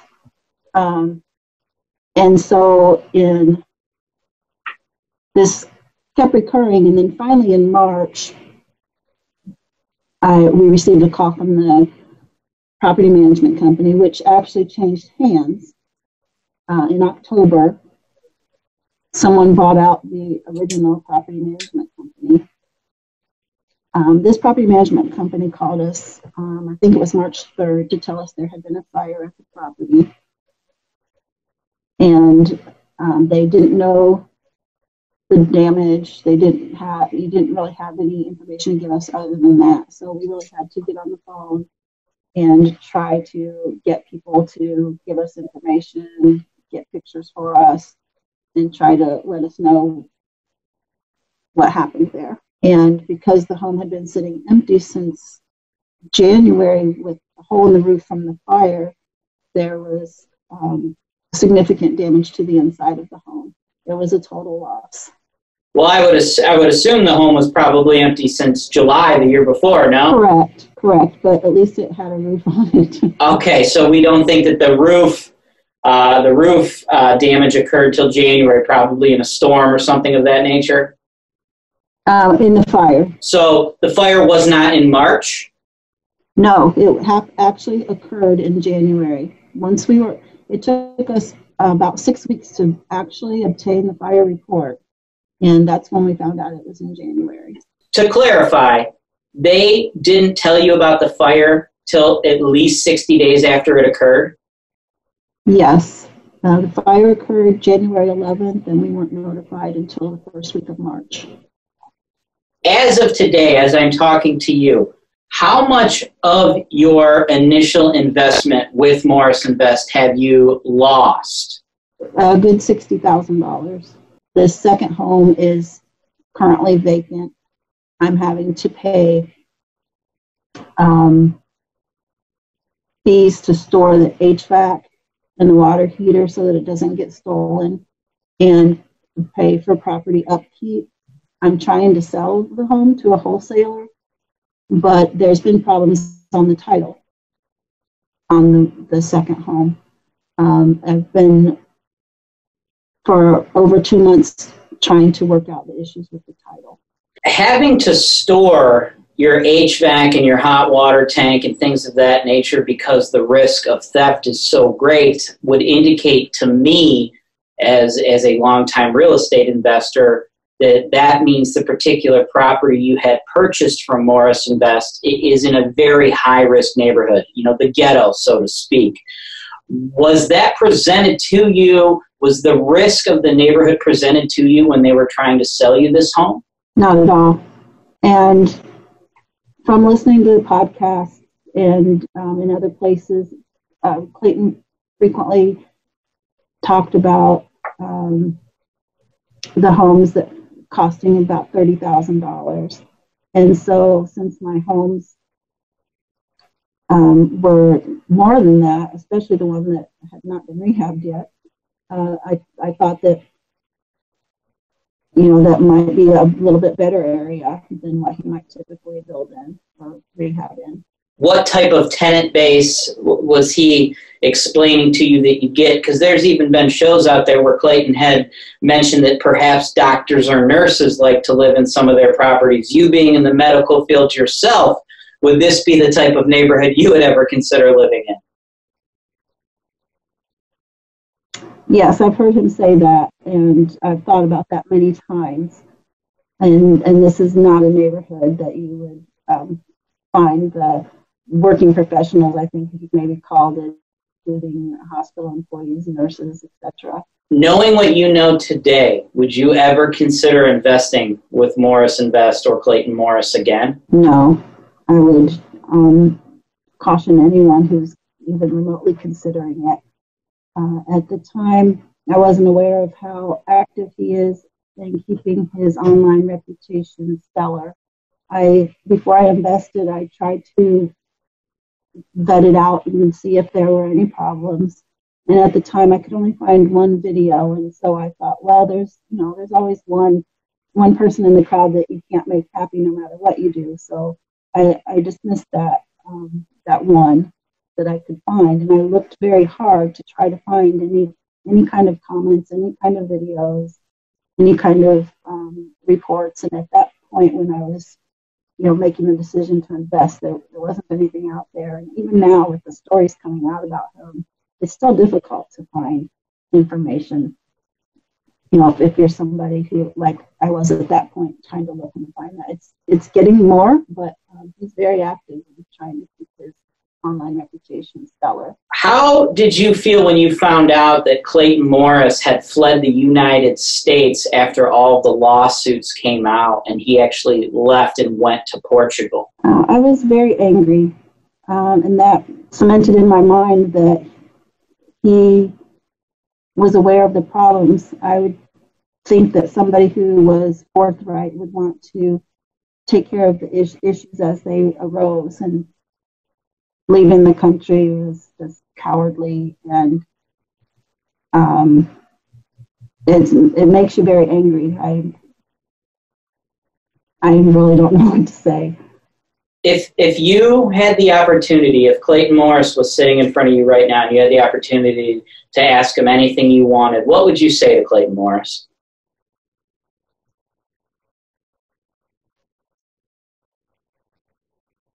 I'm not sure. I haven't thought about that, but I think I would ask him um,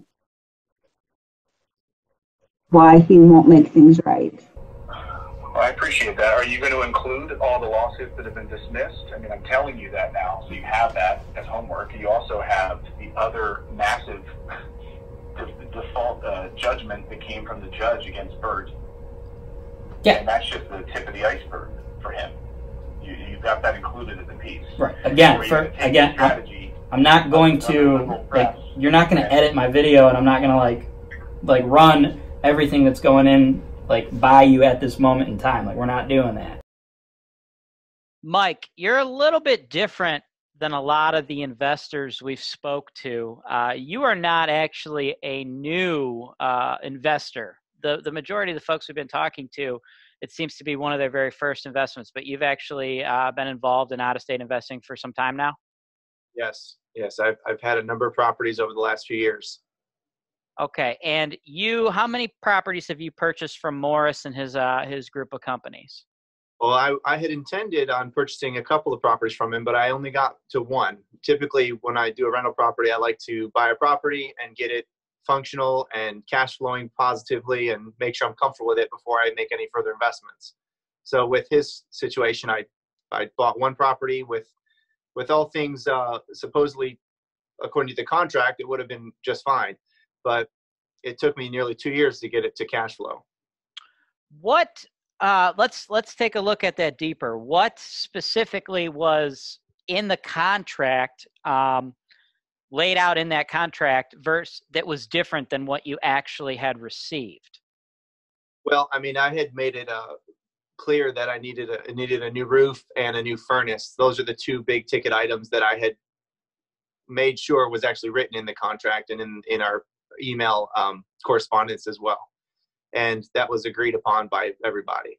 Now, Now, what, I don't want to uh, cut you off, but just to clarify for everyone watching, when you say you're going back and you're getting this written in the contract, new roof and new furnace, who are you negotiating with specifically?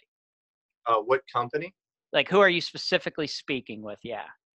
uh, the actual agent of his was his name was James, who was one of his sales representatives. So he, so, so James is a sales representative working at Morris Invest. yes. Okay. and he was getting he was getting approval from from Clayton on the deal at that time. Okay, so you're going back and forth negotiating the terms of this deal. Uh, James is your point of contact at Morris Invest. James gets approval from Clayton himself to go ahead and write it in there that you can get a new roof and a new furnace, and then presumably you guys go ahead and close the deal. And uh, the there was one other thing as uh, the contract was being written, I, I wanted to make sure this was a Section Eight uh, process. So I had a Section Eight tenant in place. So I wanted to make sure that the Section Eight inspection was recently conducted, and that all of the items on that list were at least buttoned up, which would mean like uh, they would test the the railings and the paint and the smoke detectors and the electrical and the, the basic plumbing checks. Those are what a Section 8 inspection goes through. There's a, a long punch list on that. That's why I would use a Section 8 uh, uh, property from a distance. That's one of the reasons I like using Section 8 if I'm going to do it, is because I have that another layer of inspection. So all the Section 8 items need to be up to speed. And then the new big ticket items were a furnace and a roof. That was Okay. written in our in our purchase contract. Now I purchased the property um, over the appraised value with those in mind, was because I knew I was going to have to spend a lot of money to do that if I didn't. So that was the idea. Okay, so what did you end up purchasing it for, and what did it appraise for? Uh, well, I didn't do an independent appraisal afterward, but I initially, when I purchased the property from him, was fifty-one nine. Okay. So fifty-one thousand nine hundred dollars. Uh, the Section Eight tenant has still actually is still my tenant in that house. So thankfully, this was a this worked out well uh, on the tenant side. Sometimes it doesn't work out well for the buying side and the tenant side. In this situation, the tenant remained, and it is actually a a- decent tenant. I, I have to say, I do uh, enjoy her. She's a very good tenant. So no no problems with that. Okay, so that so he sold you a property for fifty one thousand nine hundred. Claimed there's Section Eight tenant in there. There was. You still have that tenant to this day. That's that true. sounds great. What's the issue here? Uh, the issue was uh, when we purchased the property, the, the roof and the furnace weren't installed. Um, after I had spent the better part of a year getting that to be done, I don't think it was done very well, if it was ever done at all, because we still have had problems with the furnace and other issues that developed on the backside of the roof. So if they were new, I I don't know how well that was done. Second, it took a year to get done. Um, third, When you say it took you a year, so I just want to make sure I understand this. He was supposed to, you know, you guys agreed that that would be installed before you closed the deal, but that didn't happen. So you, how did you find out that that didn't happen after? Uh, like, we, yeah, we had to continue. Uh, I had- I had to have inspections done and take a look at the house and make sure that it was up to speed. When the furnace broke down, of course, I knew it wasn't new. Uh, that that didn't take long to figure out, and I'm spending four or five hundred dollars to repair furnaces. Uh, second, I had a Section Eight inspection come around again because I was going to uh, re re rent the place or renew the lease to the tenant. So Section Eight has to come around and do another assessment to see if they're going to raise the rent or not uh, to recalibrate, I guess, the, the monthly fee.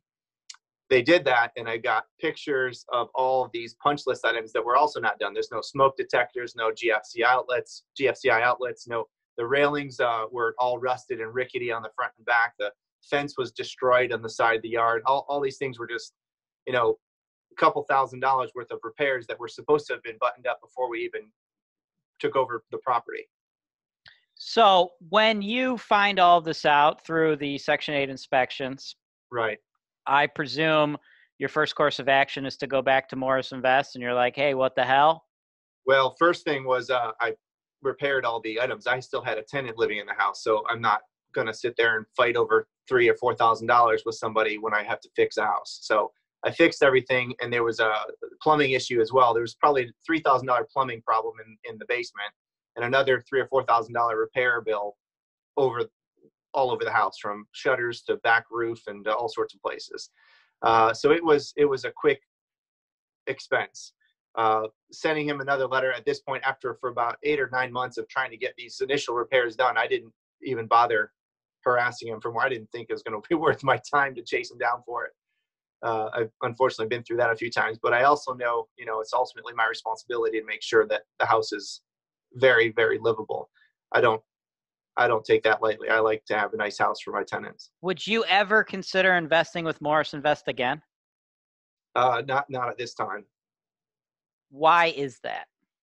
uh, I, I just like the transparency and the trust and the the actual relationship needed to be done properly from the beginning. I mean, if everything on the contract was as such, I wouldn't have any issues. But you know, I feel like there was a lot of uh, people in the dark on this one. They didn't know what they were even selling. How much money would you say was guaranteed to you in this contract that you actually didn't receive? Like of all the of all the items that you negotiated to Yeah. get put in that contract, what Yeah, roughly was the value that they didn't actually give to you? if it was around fifteen thousand dollars, I'd be. I think that's probably reasonable.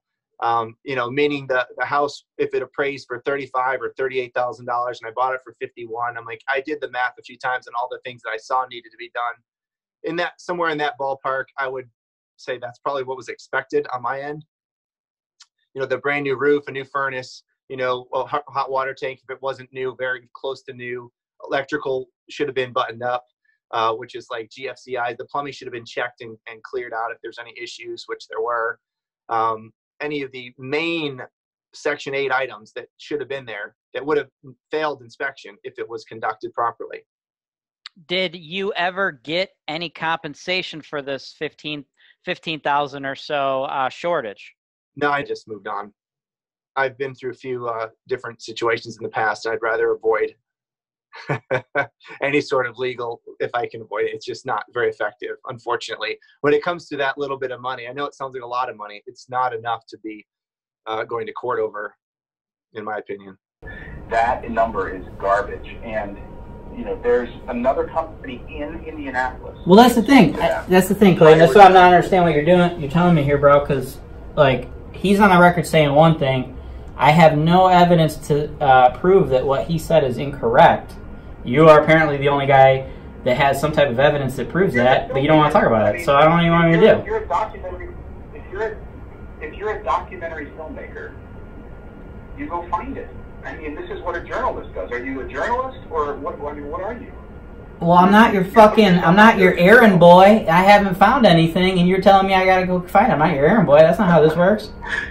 Instead of hanging out in BiggerPockets, why don't you actually go meet with Jack Schechter and Jack Gibson in fucking Indianapolis, who ran high return real estate? They were there in the city. They had hundreds of properties from Oceanpointe. The exact same thing happened to them. They then had to move all of their properties over to Urban House, other property management companies who literally had hundreds of people. We, we've moved our properties over to Urban House. They're like, oh my God, we had hundreds from high return real estate that worked with Oceanpointe, got totally fucked by Oceanpointe. And their clients were in a shitstorm, way, way worse. And Urban House got flooded with properties from high return real estate. Now, when you first did your, uh, you know, your first few deals with Bert Whalen, how did uh, everything transpire? Were these deals smooth? Were they easygoing, or were there red flags right from the start? No, everything from the very beginning was, to me, felt very much on the up and up. I got a great vibe from Bert. We did, um, I mean, I even stayed at his guest room in his, his house multiple times. I, I never, in the beginning, I never really felt like there was any red flags. My instincts weren't like on high alert at all. I mean, the business model made sense. Everything he told me made sense. It seemed like a pretty straightforward operation. You buy a property at a discount that needs rehab, you'd send a construction team in, rehab the property, place a tenant, and send the investor a check for purchasing the property. So at that point, what was uh, the relationship like with you and Bert? Like specifically, what was your involvement in these deals? Were you just buying them yourself and he was handling the asset for you on the ground? Were you selling them to other folks? Where were you guys at right then and there? So when I first started, I was I was not looking to do real estate. I have a very very successful multi-million dollar nutrition distribution um, operation. I was looking for a safe place to, or so I thought, right, to place my to place my um, my capital. And I had looked around at other markets, and prices were pretty high, and the returns, and it didn't really make sense for the amount of risk. So looking at Indianapolis, uh, the city was three hours from my house. It made sense. So I just started buying up as a turnkey buyer. Um, I, I, bought up to, I was up to 15 units with Bert, all, all properties that I bought through him. And things were going great. I mean, I'm getting incredible returns on my, that first batch based on the price to rent ratios.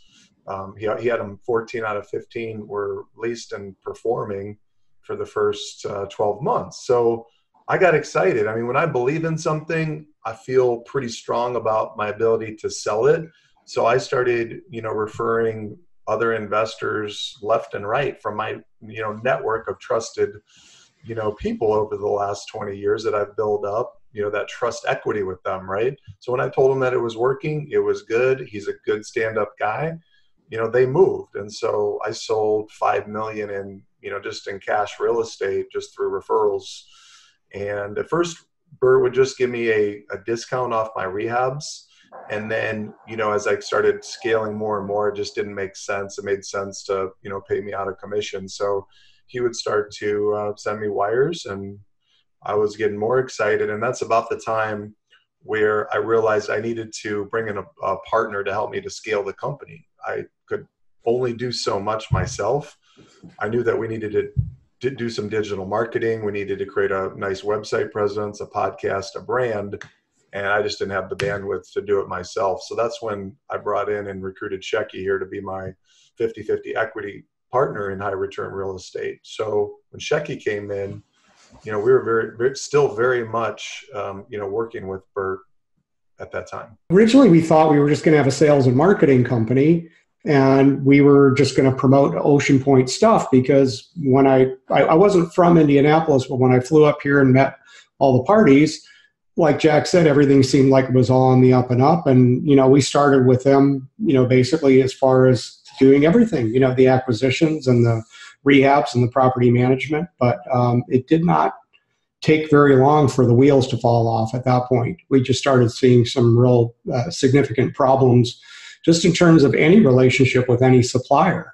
And uh, really, really lacking in communication and really having a good idea of where our investors were at with their performance. That was kind of the first big red flag that we noticed is we just weren't getting answers on anything.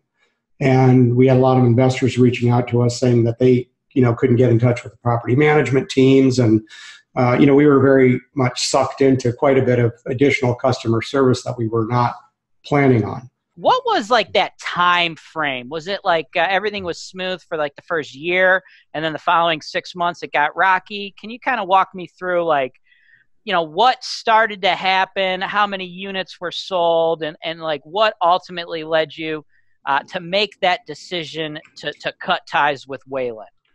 Yeah, for me, from the time that I started buying, which would have been January of 2016, um, it wasn't until the following, like August of 2017, that I really started, like, just really seeing some things that that I really didn't like. So Shecky and I had only been together maybe what a few months. Yeah.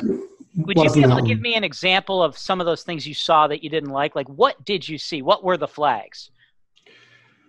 Well, I'd have investors. The, the main, the biggest thing is what Shecky kind of alluded to there. You know, lots of investors that I, you know, brought in, they're coming back and hitting me up and being like, I can't get a hold of anybody at Oceanpointe. I, you know, I've got all these liens that I'm getting against my property and, and I'm getting no answers on. There's, you know, the, the stacks and stacks of co- city code violations are starting to kind of pile up on a lot of their properties. And you know i'm not getting any answers about you know leases. You know one time i went into the leasing office to try to make sense of what's going on like what's leased up what's not how do we get these performing? And that's right when i realized like that something's very very wrong here. And i i, I just don't want to be a part of this. This just doesn't it's no it's just not adding up.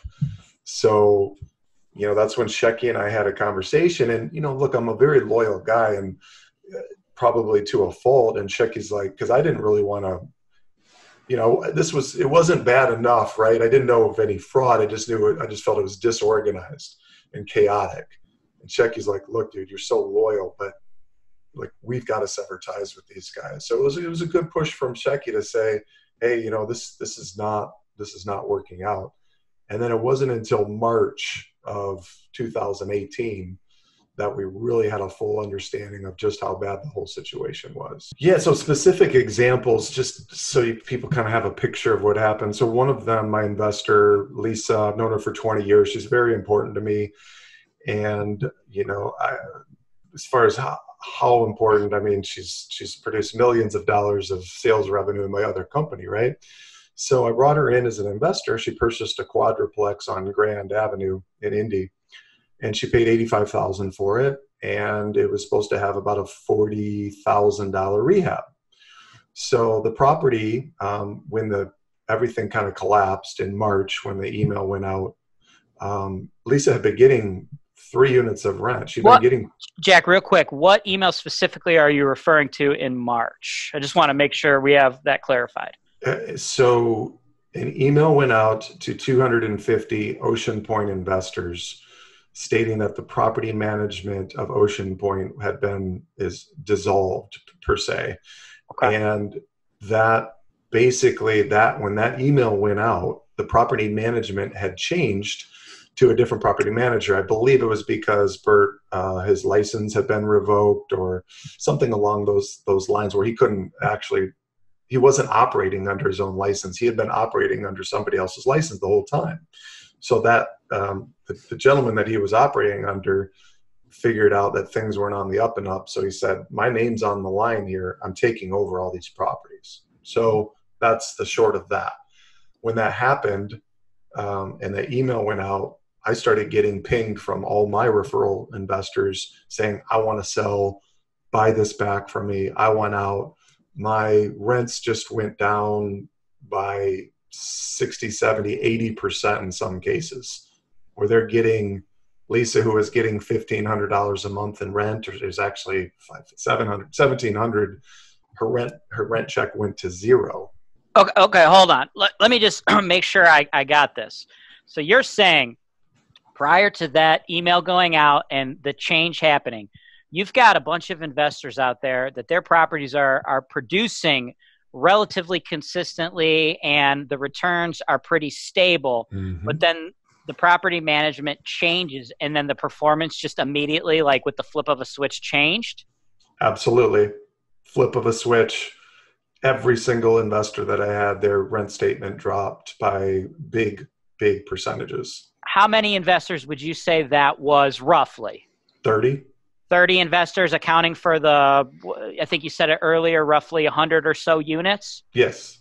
130 units. So between my 15 and then other properties that Shecky and I had purchased from Oceanpointe to rehab and um, to turn to our investor, you know, new investor purchases network, um, and then all the people that I had already sold to, it was roughly 130 units. What would you infer attributed to that immediate drop in performance? Was the new property management company not a good management company, or do you have any inclination of why the drop occurred? Well, you know, there's there's only really one thing that makes sense. You know, I don't have any proof per se of that it actually transpired this way, but uh, you know, there was tenants where where once we kind of went in and took the properties over from that property manager that had taken over for Oceanpointe, you know, we discovered mostly vacant units, dilapidated units, um, most uh, squatters, um, leases that were for three, four hundred dollars a month, and the rent that had been paid out was six, seven hundred dollars per month to the investor.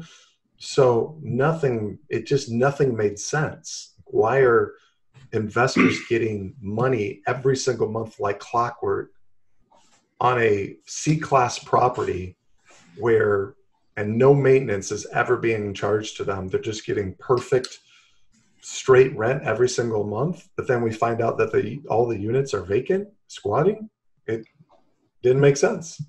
Yeah, and that that would probably not uh, occur in the normal, you know, operation of a rental property. Obviously, we have ebbs and flows, and we do get vacancies. But yeah, it doesn't typically happen in a wave like that. And uh, when you guys actually got some physical eyes on these properties, which like you could typically, as an investor, tell uh, if a unit was just lived in and the tenant just moved out like a day or two ago versus like a a unit that had been vacant for a considerable amount of time. Was that your experience? You're looking at units that appear to have been vacant for a considerable amount of time, not just when that switch occurred. We had there was quite a bit of a mix. There was you know there was there were some that had squatters living in them that were you know that could not produce any lease where um, couldn't verify or show that they any records that they had been paying rent at all. Um, there were there were certain properties that looked like they had just recently vacated. There was a mix that it's like nobody had ever lived there for a year. There were properties where, like the the property I'm alluding to on Grand, the water had never even been turned on for the last. It, it hadn't been turned on for years. But yet there was an investor who was receiving rental income checks for that property the entire time. Absolutely. We had lots of instances where water had not ever been turned on on the property for the time period that the investor had been receiving rent checks. What did you guys? What actions did you guys take uh, to handle those investors' needs and mitigate their losses uh, after you decide that it's time to cut cut ties with Whalen? Well, that's a that's a long answer, James. I mean, it's um, there was a number of things that happened. Obviously, there were many investors that had already reached out to us, and we were already in conversation with them. For the ones that hadn't, we reached out to them. We obviously need, needed an immediate property management solution, and we were able to partner up with a very nice gentleman that ran uh, a locally owned company here that you know kind of helped us through that tougher situation on the management side, and there was a lot to work through. So just to clarify, Shecky, Yeah. originally it was Oceanpointe handling the PM, and Right. Even though some of these properties did not have water on, the money was coming in monthly. Correct. Then Oceanpointe, because of Whalen's license status with the state of Indiana, all Oceanpointe property management as a brokerage ceased to exist. They kicked it over to one company. Mm-hmm. That's when your personal property and all of your 30 some odd investors' performance immediately dipped, and you two have now been made aware of the situation you're in. At that point, you two yourselves took your group of investors and moved to a complete new management company, a third management company. Mm-hmm. Correct. So Yep. now, okay, so now you guys have completely severed all ties with everything that has occurred thus far, and you guys are essentially starting fresh. Correct. Well, yeah, I wouldn't be use the word fresh, but yeah, we're we're starting over. Um, and obviously, it was pretty hellacious just trying to get stuff moved over to that property management company because even even the change from Bert to whoever uh, the other entity was, they were. It was the same thing. They were just uncooperative and non-communicative. So there was very much a lot of things that we had to just figure out for ourselves, and some of it was guesswork and things like that. But yeah, we had to go into every single property and assess what was going on and come up with some recommendations. You know, some properties obviously were in really, really piss poor condition. Some were not so bad. Uh, there were many investors that just said, you know, screw it, I just want to sell. And, you know, for those, we tried to help them sell them off, you know, through a number of methods, whether it's, you know, listing them on the MLS or some of them we uh, partnered with them on getting them fixed up and, you know, reselling them through our own investor network or other potential networks. And uh, that worked out fairly well. I mean, we bore, as Jack said, much of the financial burden for doing this kind of stuff because we felt um, an obligation to those investors. There were some extreme situations where we actually bought the property back and we just started fresh and started with a brand new rehab and brand new processes and eventually turned it into a nice property and got it tenanted and sold it as a turnkey company to a completely new investor with you know fresh energy no history any of that kind of stuff. So there were there were a number of those but you know we're like we're now two years later and we're still feeling the effects of it. We like i said earlier we've only got maybe half a dozen or so properties left like this that are still feeling the effect of the previous you know mistakes that we made from that association. But we just did whatever was necessary. Sometimes it was just fixing it up. Sometimes it was selling it off. Sometimes it was buying it back. Sometimes it was a mixture you know it just whatever needed to happen we just did it. And there were the thankfully the investors we had good relationship with and some of them understood that we could not do this all at once. One of the things that we felt really bad about was that some of these people had to wait a year before we could even touch their property. Mm-hmm. And that was the situation with a lot of other investors that bought through networks outside of ours, but were still affected by that too. Because you got to understand, there were so many, when this email hit, this affected not just our investors, but hundred, hundreds of investors that had been exposed to this problem in the Indianapolis market. And there, forget about finding a good contractor. You couldn't even find a contractor. They were all just so ridiculously busy. And then what's sad is there became this whole, uh, you know, sort of separate market, almost like a black market, to quote unquote take care of these investors that had been affected by that. And you know, many of them sold off at huge losses, like there were, you know, wholesalers playing vulture, and I mean, it was not a pretty situation. And um, so we saw a lot of that going on, and just said, okay, let's at least alert alert our investors to this situation, so they're not sucked in by the black marketeers. And even if they've got to wait a year, let's at least come up with some sort of solution where they're not going to have this extreme amount of damage as if they were just being poached. So, you know, we just did whatever we could. Yeah, so James, I'd like to give a couple uh, specific advan- uh, examples of properties where we, you know, stepped in and, and really saved uh, some some investor, you know, losses substantial. Uh, Lisa's property on uh, Grand, one of my dear friends, long time, 20 years in business together, and my other company, know, she she bought a quad for 85 grand. It was going to get 40 in rehab, and the uh, when when everything the shit hit the fan in March, her rent went from 1700 down to zero. Okay, so the property turned out there was very little rehab that had ever been done to it. If she would have sold it on the open market, she would have been lucky to get 20 grand back out. Um, maybe on a really, really good day, 30,000, but I really had my doubts.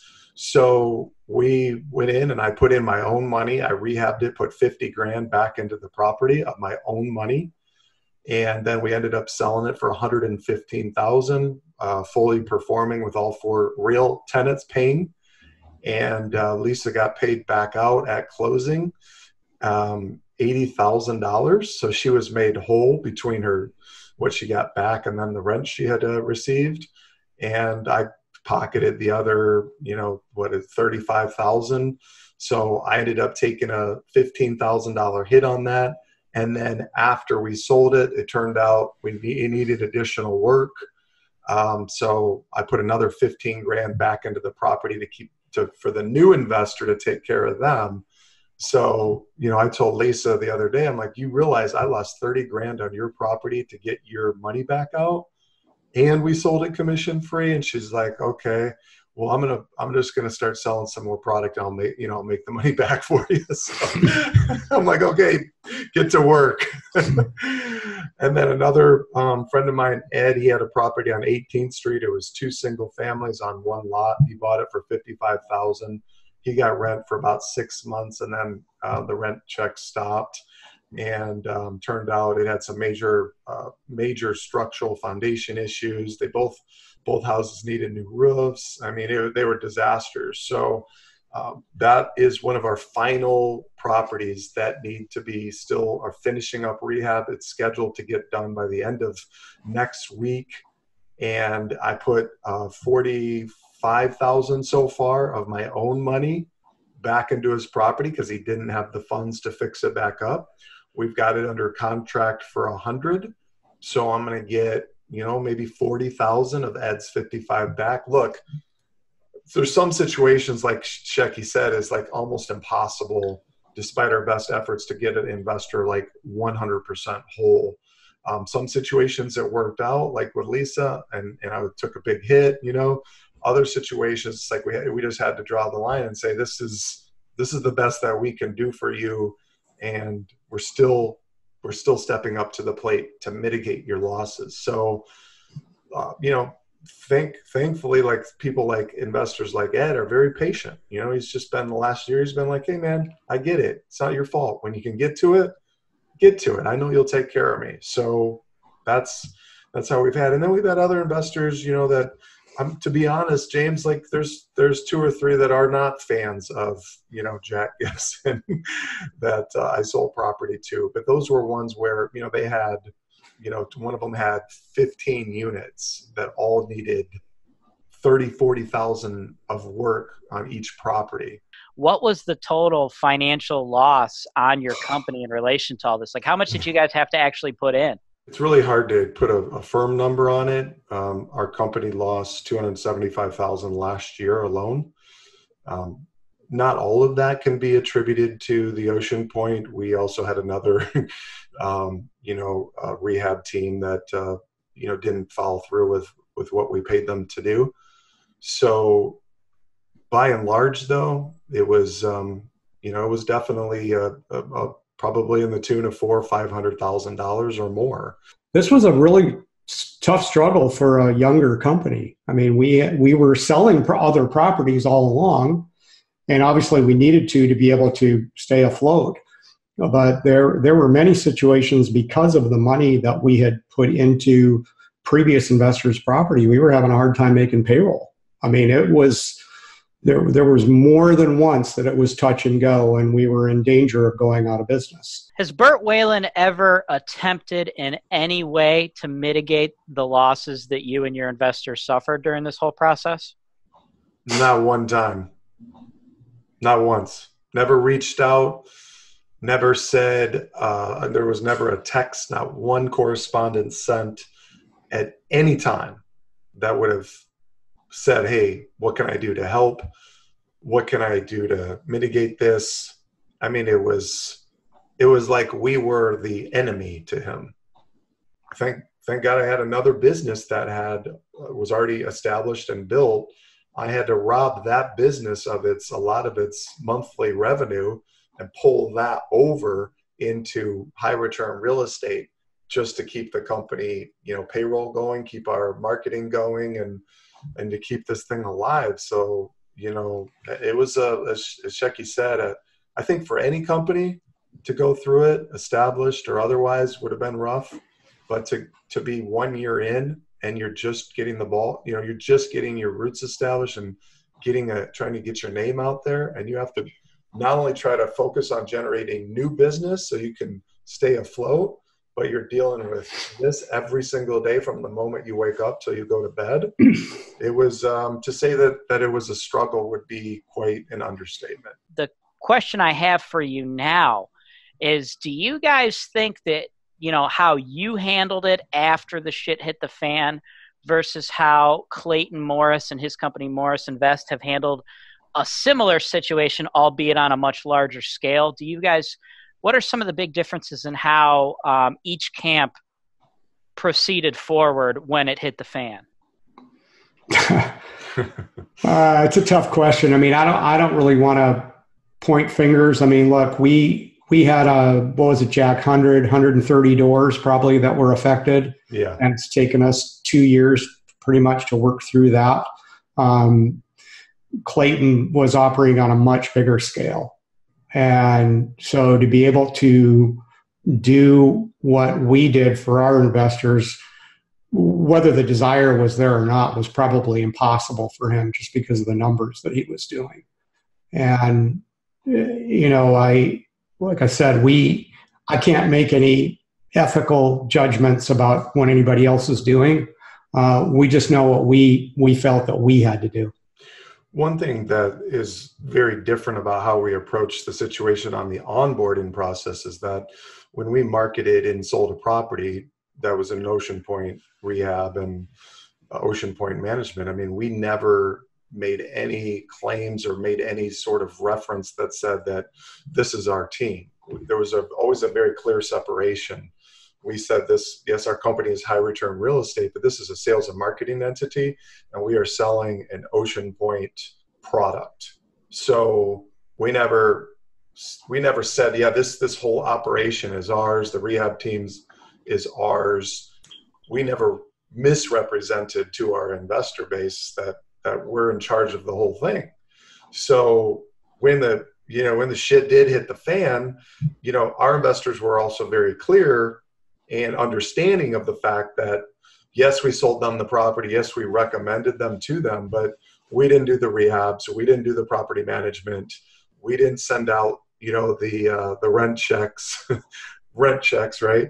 We didn't do any of that. So we were in a much better position with our investors to really lay out like here's what happened and here's what we're going to do to try to help you. Now as Shecky said there were a lot of different uh, things that uh, we did to try to sell our properties. But one thing we that i was very uh, clear on with my investor base is don't make a rash decision right now when there's you're competing to try to sell your property with so many hundreds of other people that are trying to do it right now. You're going to take monster losses. So i just kind of help try to keep them all patient even though a lot of them are texting me you know for answers you know some some daily some were very patient and once a month type updates but i just try to get them patient patient patient it's we're much better to be patient and wait for this storm to kind of pass and then try to fix these properties back up versus just dumping them for an extreme loss. And I believe with that strategy of just patience, and even though it was the harder way to go, we preserved a lot of investor capital in in in it really saved a lot of people from from some monumental losses and even helped some people to honestly make a profit believe it or not, on their Oceanpointe properties, which uh, was pretty pretty difficult to accomplish. it's a it's a tough situation, and I could I could tell uh, that uh, you know it was tough on you guys as a big blow uh, to what you're trying to do as business owners.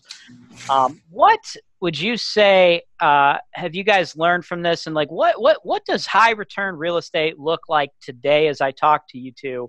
Uh, versus what it looked like back then. Like, what are you guys? Are you guys doing things differently than you were doing back then before this whole thing happened? kind of the polar opposite of those days. So, you know, Jack and I often joke, we have a podcast too, and we often joke that, you know, had we known what we were getting into, we probably would have never done this. Definitely would have never done it. Uh, But, you know, here we are, and, and the, the lessons were extremely expensive.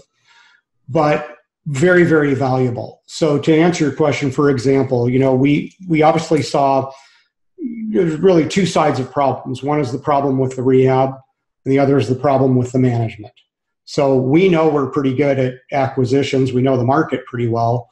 So how could we dial in good rehabs and now of course over the years we've developed relationships with really fantastic crews and we've got some people that work exclusively for us and it's really great. But we actually do two rehab or two um, inspections on a property. So we when we go and acquire a property the first thing we do is we turn on utilities and we then go right from there into an inspection of the property so that when our teams go in and rehab they have their own checklist of things that they're going to look at. We, you know, obviously we check out everything on the property, but they also have the advantage of a third party inspection to work with as they're going through. So we, we very, very rarely see any surprises. When they get to the end of the rehab, we actually call for another third party inspection and we ask that it's not the same person. So we're, not looking for a review of the first inspection. We're looking for a fresh set of eyes just for quality control. Um, and then, of course, you know, there's nothing that comes out perfect. You know, second inspector might find a couple other things. If there's anything that's still outstanding on that inspection report that's meaningful to a good rehab, we will send our crews back in to fix those minor little items, you know, take a picture, sign off on it, make sure everything is okay. Can I bring in my own inspector and have them look at it too? Yeah. contingency? Yeah, it's a great question. And the, the answer is yes. Um, what's interesting is because of the double inspections that we already do, we get very, very few investors that request that. But for the odd investor, which is a small percentage of them that do, that say, hey, I still want to get another set of eyes on it, by all means, you're, you're buying the property. You want to spend the money on an additional um, inspection. Uh, we have not yet seen that prove out any new information, but they're more than welcome to do that.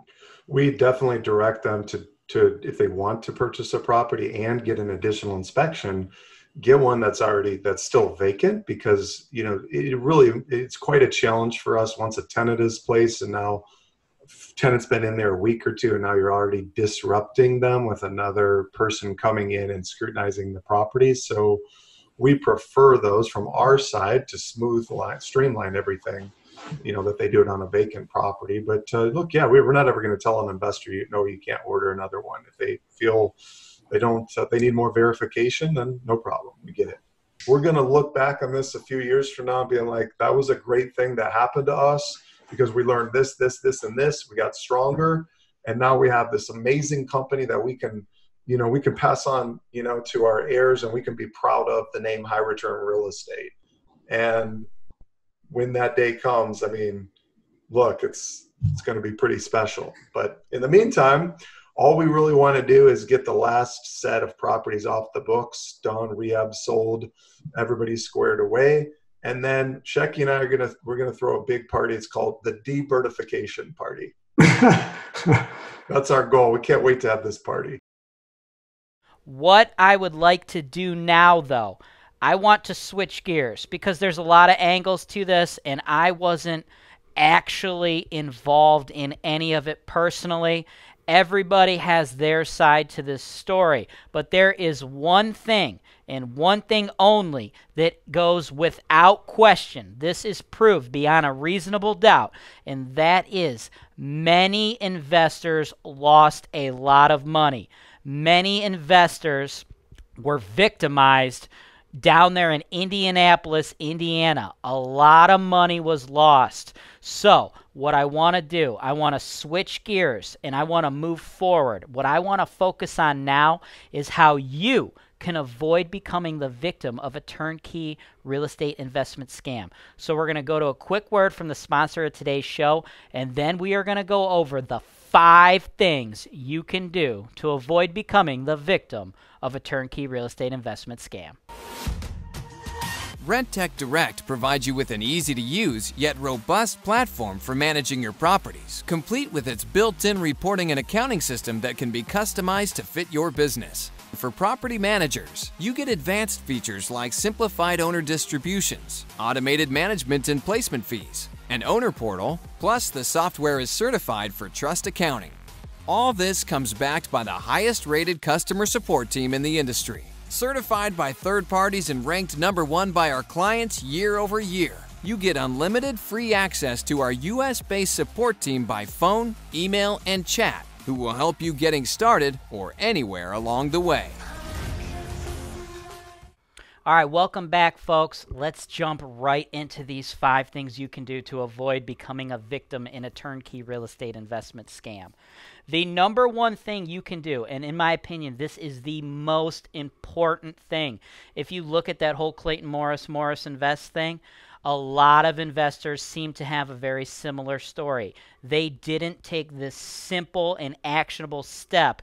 And as you can see from all the content that's out there, they paid the price dearly. And that is hire a third party to give you a property inspection. This very simple thing you can do is going to protect your ass in these situations. Typically, when you're buying turnkey real estate, you're buying it out of state, right? You're attracted to the turnkey business because you're living in an area where real estate is really expensive.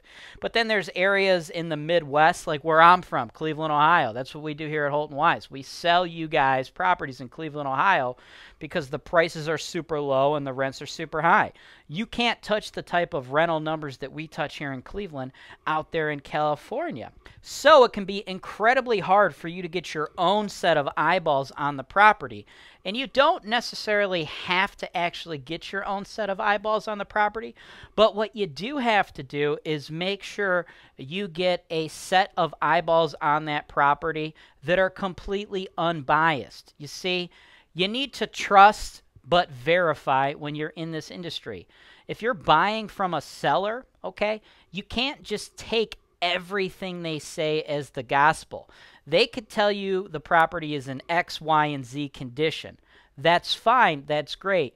You need to verify that. And if you can't look at it yourself, or even if you can look at it yourself, what you should do is get a licensed, unbiased professional in there to verify that the property is in the exact condition that you have agreed to purchase it in.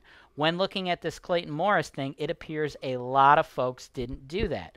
Another thing that the people who bought from Clayton Morris didn't do is my second tip, and that is to get an appraisal. Now, I'm not saying that this always has to be a deal where you finance the property through a bank. You can still purchase properties cash, but what a lot of investors don't seem to know is that even if you purchase a property cash, you can still order your own appraisal. Again, there's nothing inherently wrong with paying cash for a real estate investment, but I really like when you guys utilize this financing because I think that's one of the most important reasons that you should use real estate as an investment vehicle. If you have $100,000, why would you want to put that $100,000 into one $100,000 property when you can utilize it as a down payment and control $400,000 worth of real estate? I believe we all agree that owning real estate for the long term creates wealth. So obviously, you should want to own as much real estate as possible with the same amount of cash. Okay, it's a good appreciating asset, and that is the best debt in the world. So that's important. And the bank, guys, the bank, they ain't going to let you lose their money. So with the whole Morris Invest thing, it looks like everybody was forced into paying cash. Now, if you, for whatever reason, are not interested in getting debt, you're debt adverse, maybe you're one of those Dave Ramsey fans out there, you don't want any debt, that's fine. I'm not trying to sell you on the fact that you need to get debt, but you have to get that appraisal. See, the cool thing with the debt, though, is the bank, they require it every time. And again, they ain't letting you lose their money. But even if you're going to buy that property cash, even if you've decided you want to buy it cash, you can still order an appraisal. See, that's a that's a red flag too, by the way. If you're dealing with a turnkey provider and they're only making you make cash offers, you got to ask why is that? In the real estate investment space, from time to time there's a lot of deals we run into where you do have to pay cash, but there needs to be an underlying reason for that. Number 1, it's a completely distressed asset. And there's nothing wrong with buying distressed assets, guys, so long as we go back to our first tip, which is you get a third-party inspection. If you're trying to buy a turnkey asset, and you think it's turnkey and the seller makes you pay a price that projects it as a turnkey property and then after you own it you find out you bought a distressed asset, that's a huge problem. But if you go in knowing you're buying an investment property that needs repairs and it's all the way beat up and you're paying a discounted price for it, that's how we as real estate investors make a ton of money. So, in those distressed asset situations, oftentimes the houses are not livable and you need to pay cash for those. So that's one reason. Another reason could be it's a non conforming property. Uh, we see this in the Cleveland market a lot of times uh, where there will be parcels where there is not one, but there's actually two homes on the lot. Current building codes do not allow for you to build two separate homes on a lot of these residential lots. Back in the day when these homes weren't uh, were built, building codes and zoning restrictions uh, were a lot looser back in the day. So what can happen? Now, the city, they're not going to make you tear these second homes down, but what can happen a lot is uh, if you were to try to purchase these with a lender, the lender is going to see that the city isn't going to let you rebuild both structures in the event of a fire. Now, some lenders are fine with that so long as the insurance company doesn't have a problem insuring the entire purchase. Other lenders are like, ah, you can't rebuild both structures because of the the the new building and zoning codes, so we're not going to lend to you. So in those situations, the seller may say, "Hey, you got to pay cash." See, those are two underlying reasons why you would have to pay cash. So don't think just because someone tells you, "Hey, you have to pay cash," they're automatically screwing you. You have to dive a little deeper and see why they're making you pay cash. If you're buying a very standard and typical turnkey property, it's supposed to have been renovated, ready to go, has a tenant in there. We're talking a single family home or a duplex, and it's, you know, just regularly priced. There is no real reason you should have to pay cash for that type of an asset other than the seller believes they are selling it to you for a price higher than what it's going to actually appraise for. So that's why, folks, getting an appraisal is my second thing that you can do to avoid being the victim of a turnkey scam. The third thing that you can do to avoid being the victim of one of these turnkey scams, guys, is do your research on the neighborhood. You know, I see a lot of people out there on the internet, and I answer these questions frequently. They're asking, what market should I invest in? Should I invest in the Cleveland market? Should I invest in the Indianapolis market? Should I invest in the Memphis market? You know, there's a lot of really popular turnkey markets out there, okay? What's more important than what turnkey market you invest in, guys, is what type of asset in what particular neighborhood in that market you invest in. That's what's really important. If you're buying like five or six or seven or eight or 10 or even 20 homes, guys, the varying differences between like the Cleveland market or the Indianapolis market or the Detroit market, you know, they're very small. You're essentially splitting hairs. You're more or less going to most likely see similar returns depending on what market you invest in. Where you're really going to start to see your major sways in your profit and losses is what type of assets you buy in these markets. So, what you need to look at is the type of neighborhoods. That's why I created the ultimate guide to grading Cleveland neighborhoods, and I also did the ultimate guide to grading Birmingham, Alabama neighborhoods. And then stay tuned to Holton Wise TV because we're going to be putting out these guides for all of the other turnkey markets in the coming years. We have a few scheduled for 2020. As a matter of fact, we already have the ultimate guide to grading Indianapolis neighborhoods and the ultimate guide to grading Memphis neighborhoods scheduled for Q1 and Q2 of 2020. So if you're not yet subscribed to Holton Wise TV, make sure you smash that subscribe button so you get a notification when those guides come out.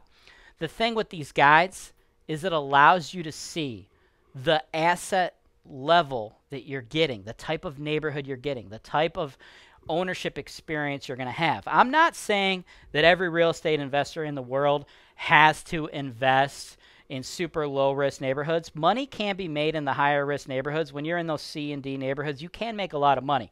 But what I am telling you guys, if you're a brand new real estate investor out there, you're incredibly new to this business, to this game, don't go buying a property in a high risk neighborhood in one of these new markets. Again, I really don't think what market you pick is as big of a deal as what you pick in that market. Buy yourself something safe. Pick something in a high C class or B class neighborhood. Maybe like a little bungalow, just something super low key, right? You got to walk before you could run. You got to ride your bike with training wheels before you start flying down the street. Same thing here. So when you're looking at these markets, make sure the neighborhoods that you're in are lower risk at the beginning of your career. If you buy a couple and you start to really like the real estate investment space and you start to build up some more cash reserves and have some more money that you can utilize and you can put into higher risk situations in an effort to make a higher return, fine. Go to the higher risk properties. But at the very beginning, why? What is the point? Don't do it. Play your money safely, right? Get your bearings in the business, and then when you're established, go for the higher risk shots. Moving on to the fourth thing you guys can do to avoid becoming the victim of a turnkey scam is ensuring that the people you are dealing with are licensed professionals, right? In every state in the United States of America, you are required to hold a real estate license to sell real estate that you do not own and earn a fee or a commission. If you remember from the beginning of the show, I spoke with Clayton Morris about the fact that he is not actually a licensed real estate agent.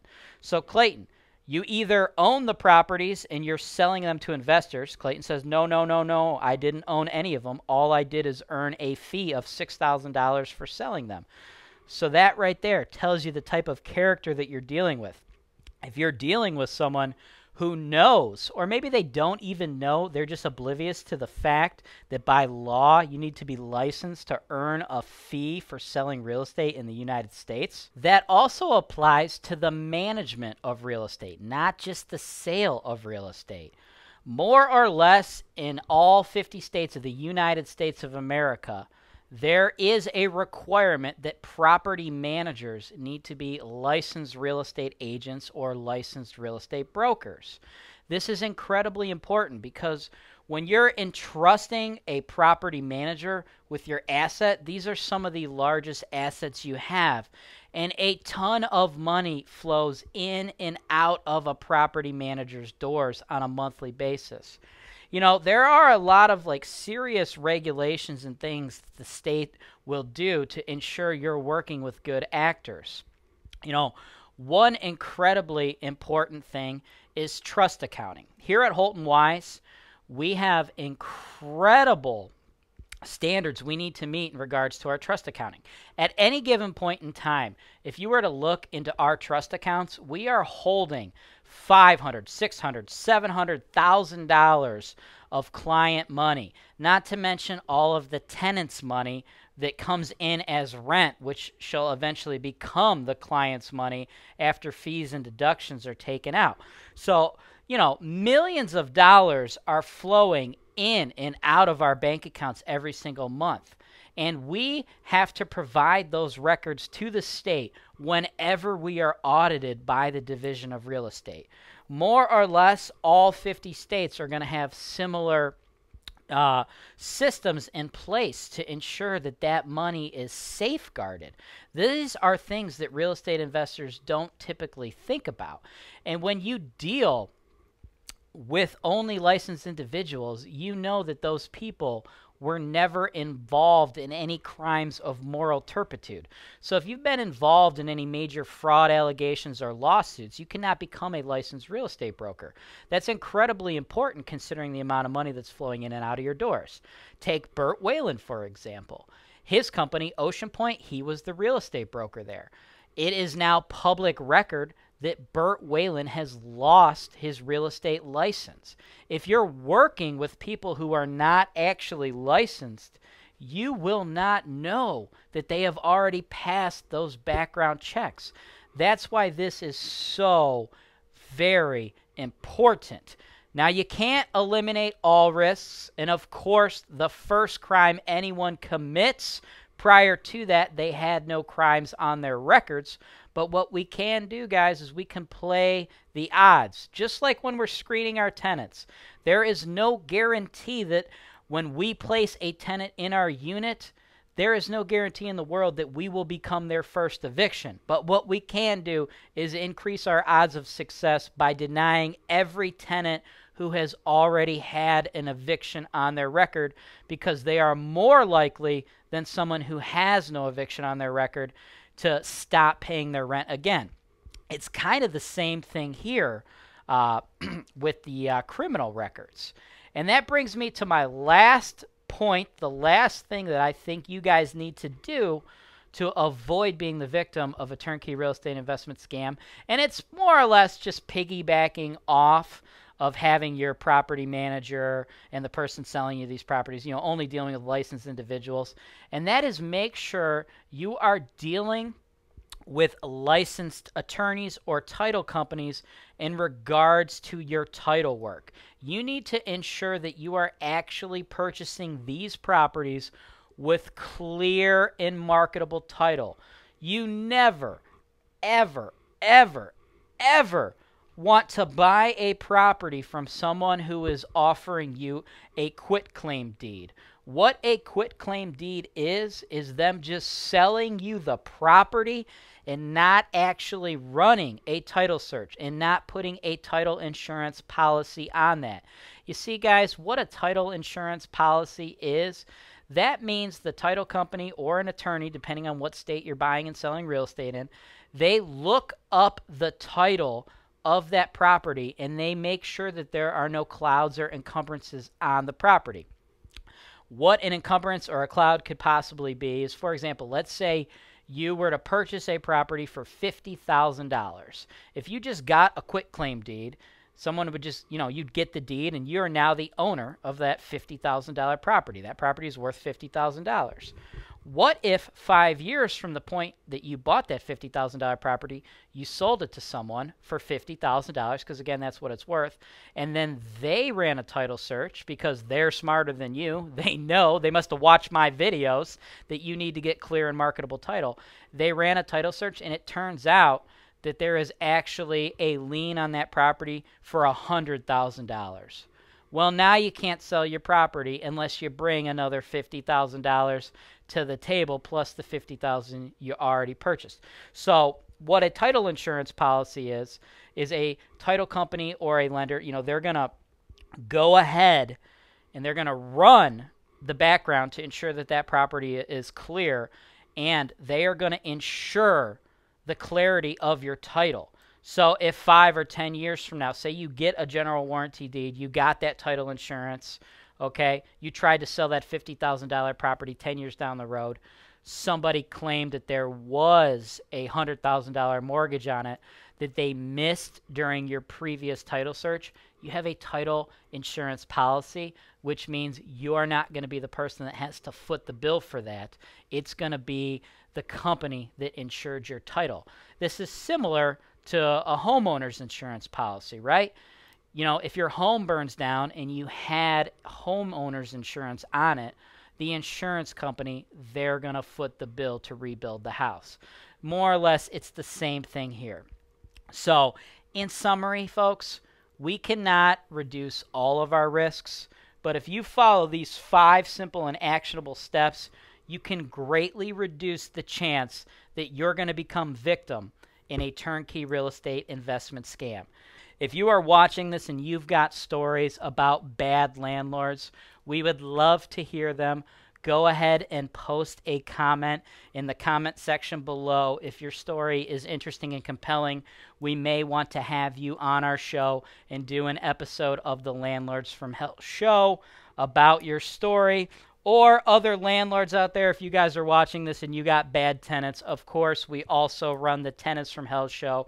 So go ahead and post us a comment about your nightmare tenants, and we can have you on an episode of the Tenants from Hell show and tell your story. As always, I'm James Wise with Holton Wise, and this is Real Estate Investing Made Easy.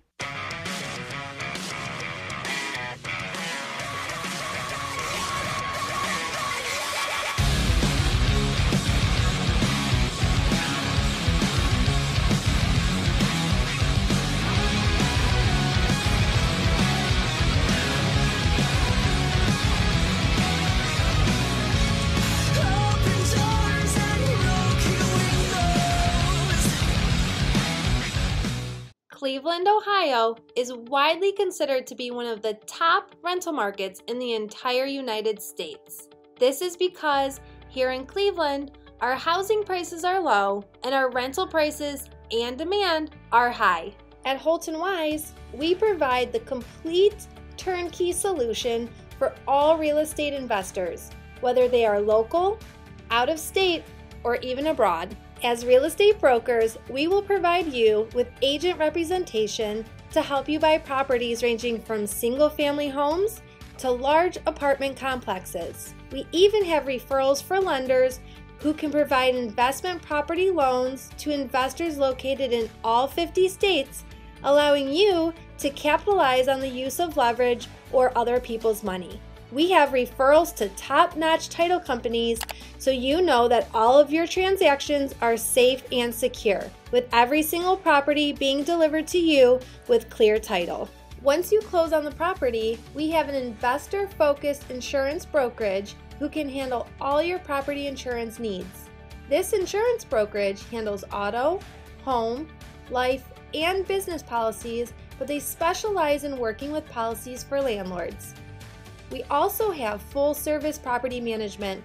We can handle all rental property advertisements, tenant placement, rent collection, evictions, maintenance, landscaping, construction, and repairs. In addition, Holton Wise also offers digital media and education. One day, when you are ready to sell your investment, Holton Wise, as the number one seller of investment properties in the greater Cleveland area, can market your property in a video just like this one to our worldwide base of investors who are looking to capitalize on the high cash flow opportunities in the Cleveland, Ohio market.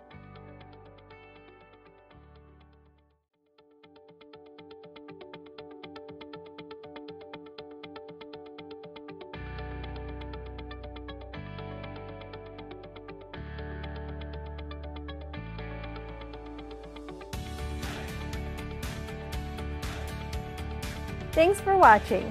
Be sure to subscribe to our channel so you don't miss out on our latest content, including video tours and analysis of investment properties that are available for sale, real estate investment education, and our most interesting encounters with tenants from hell. Holton Wise, real estate investing made easy.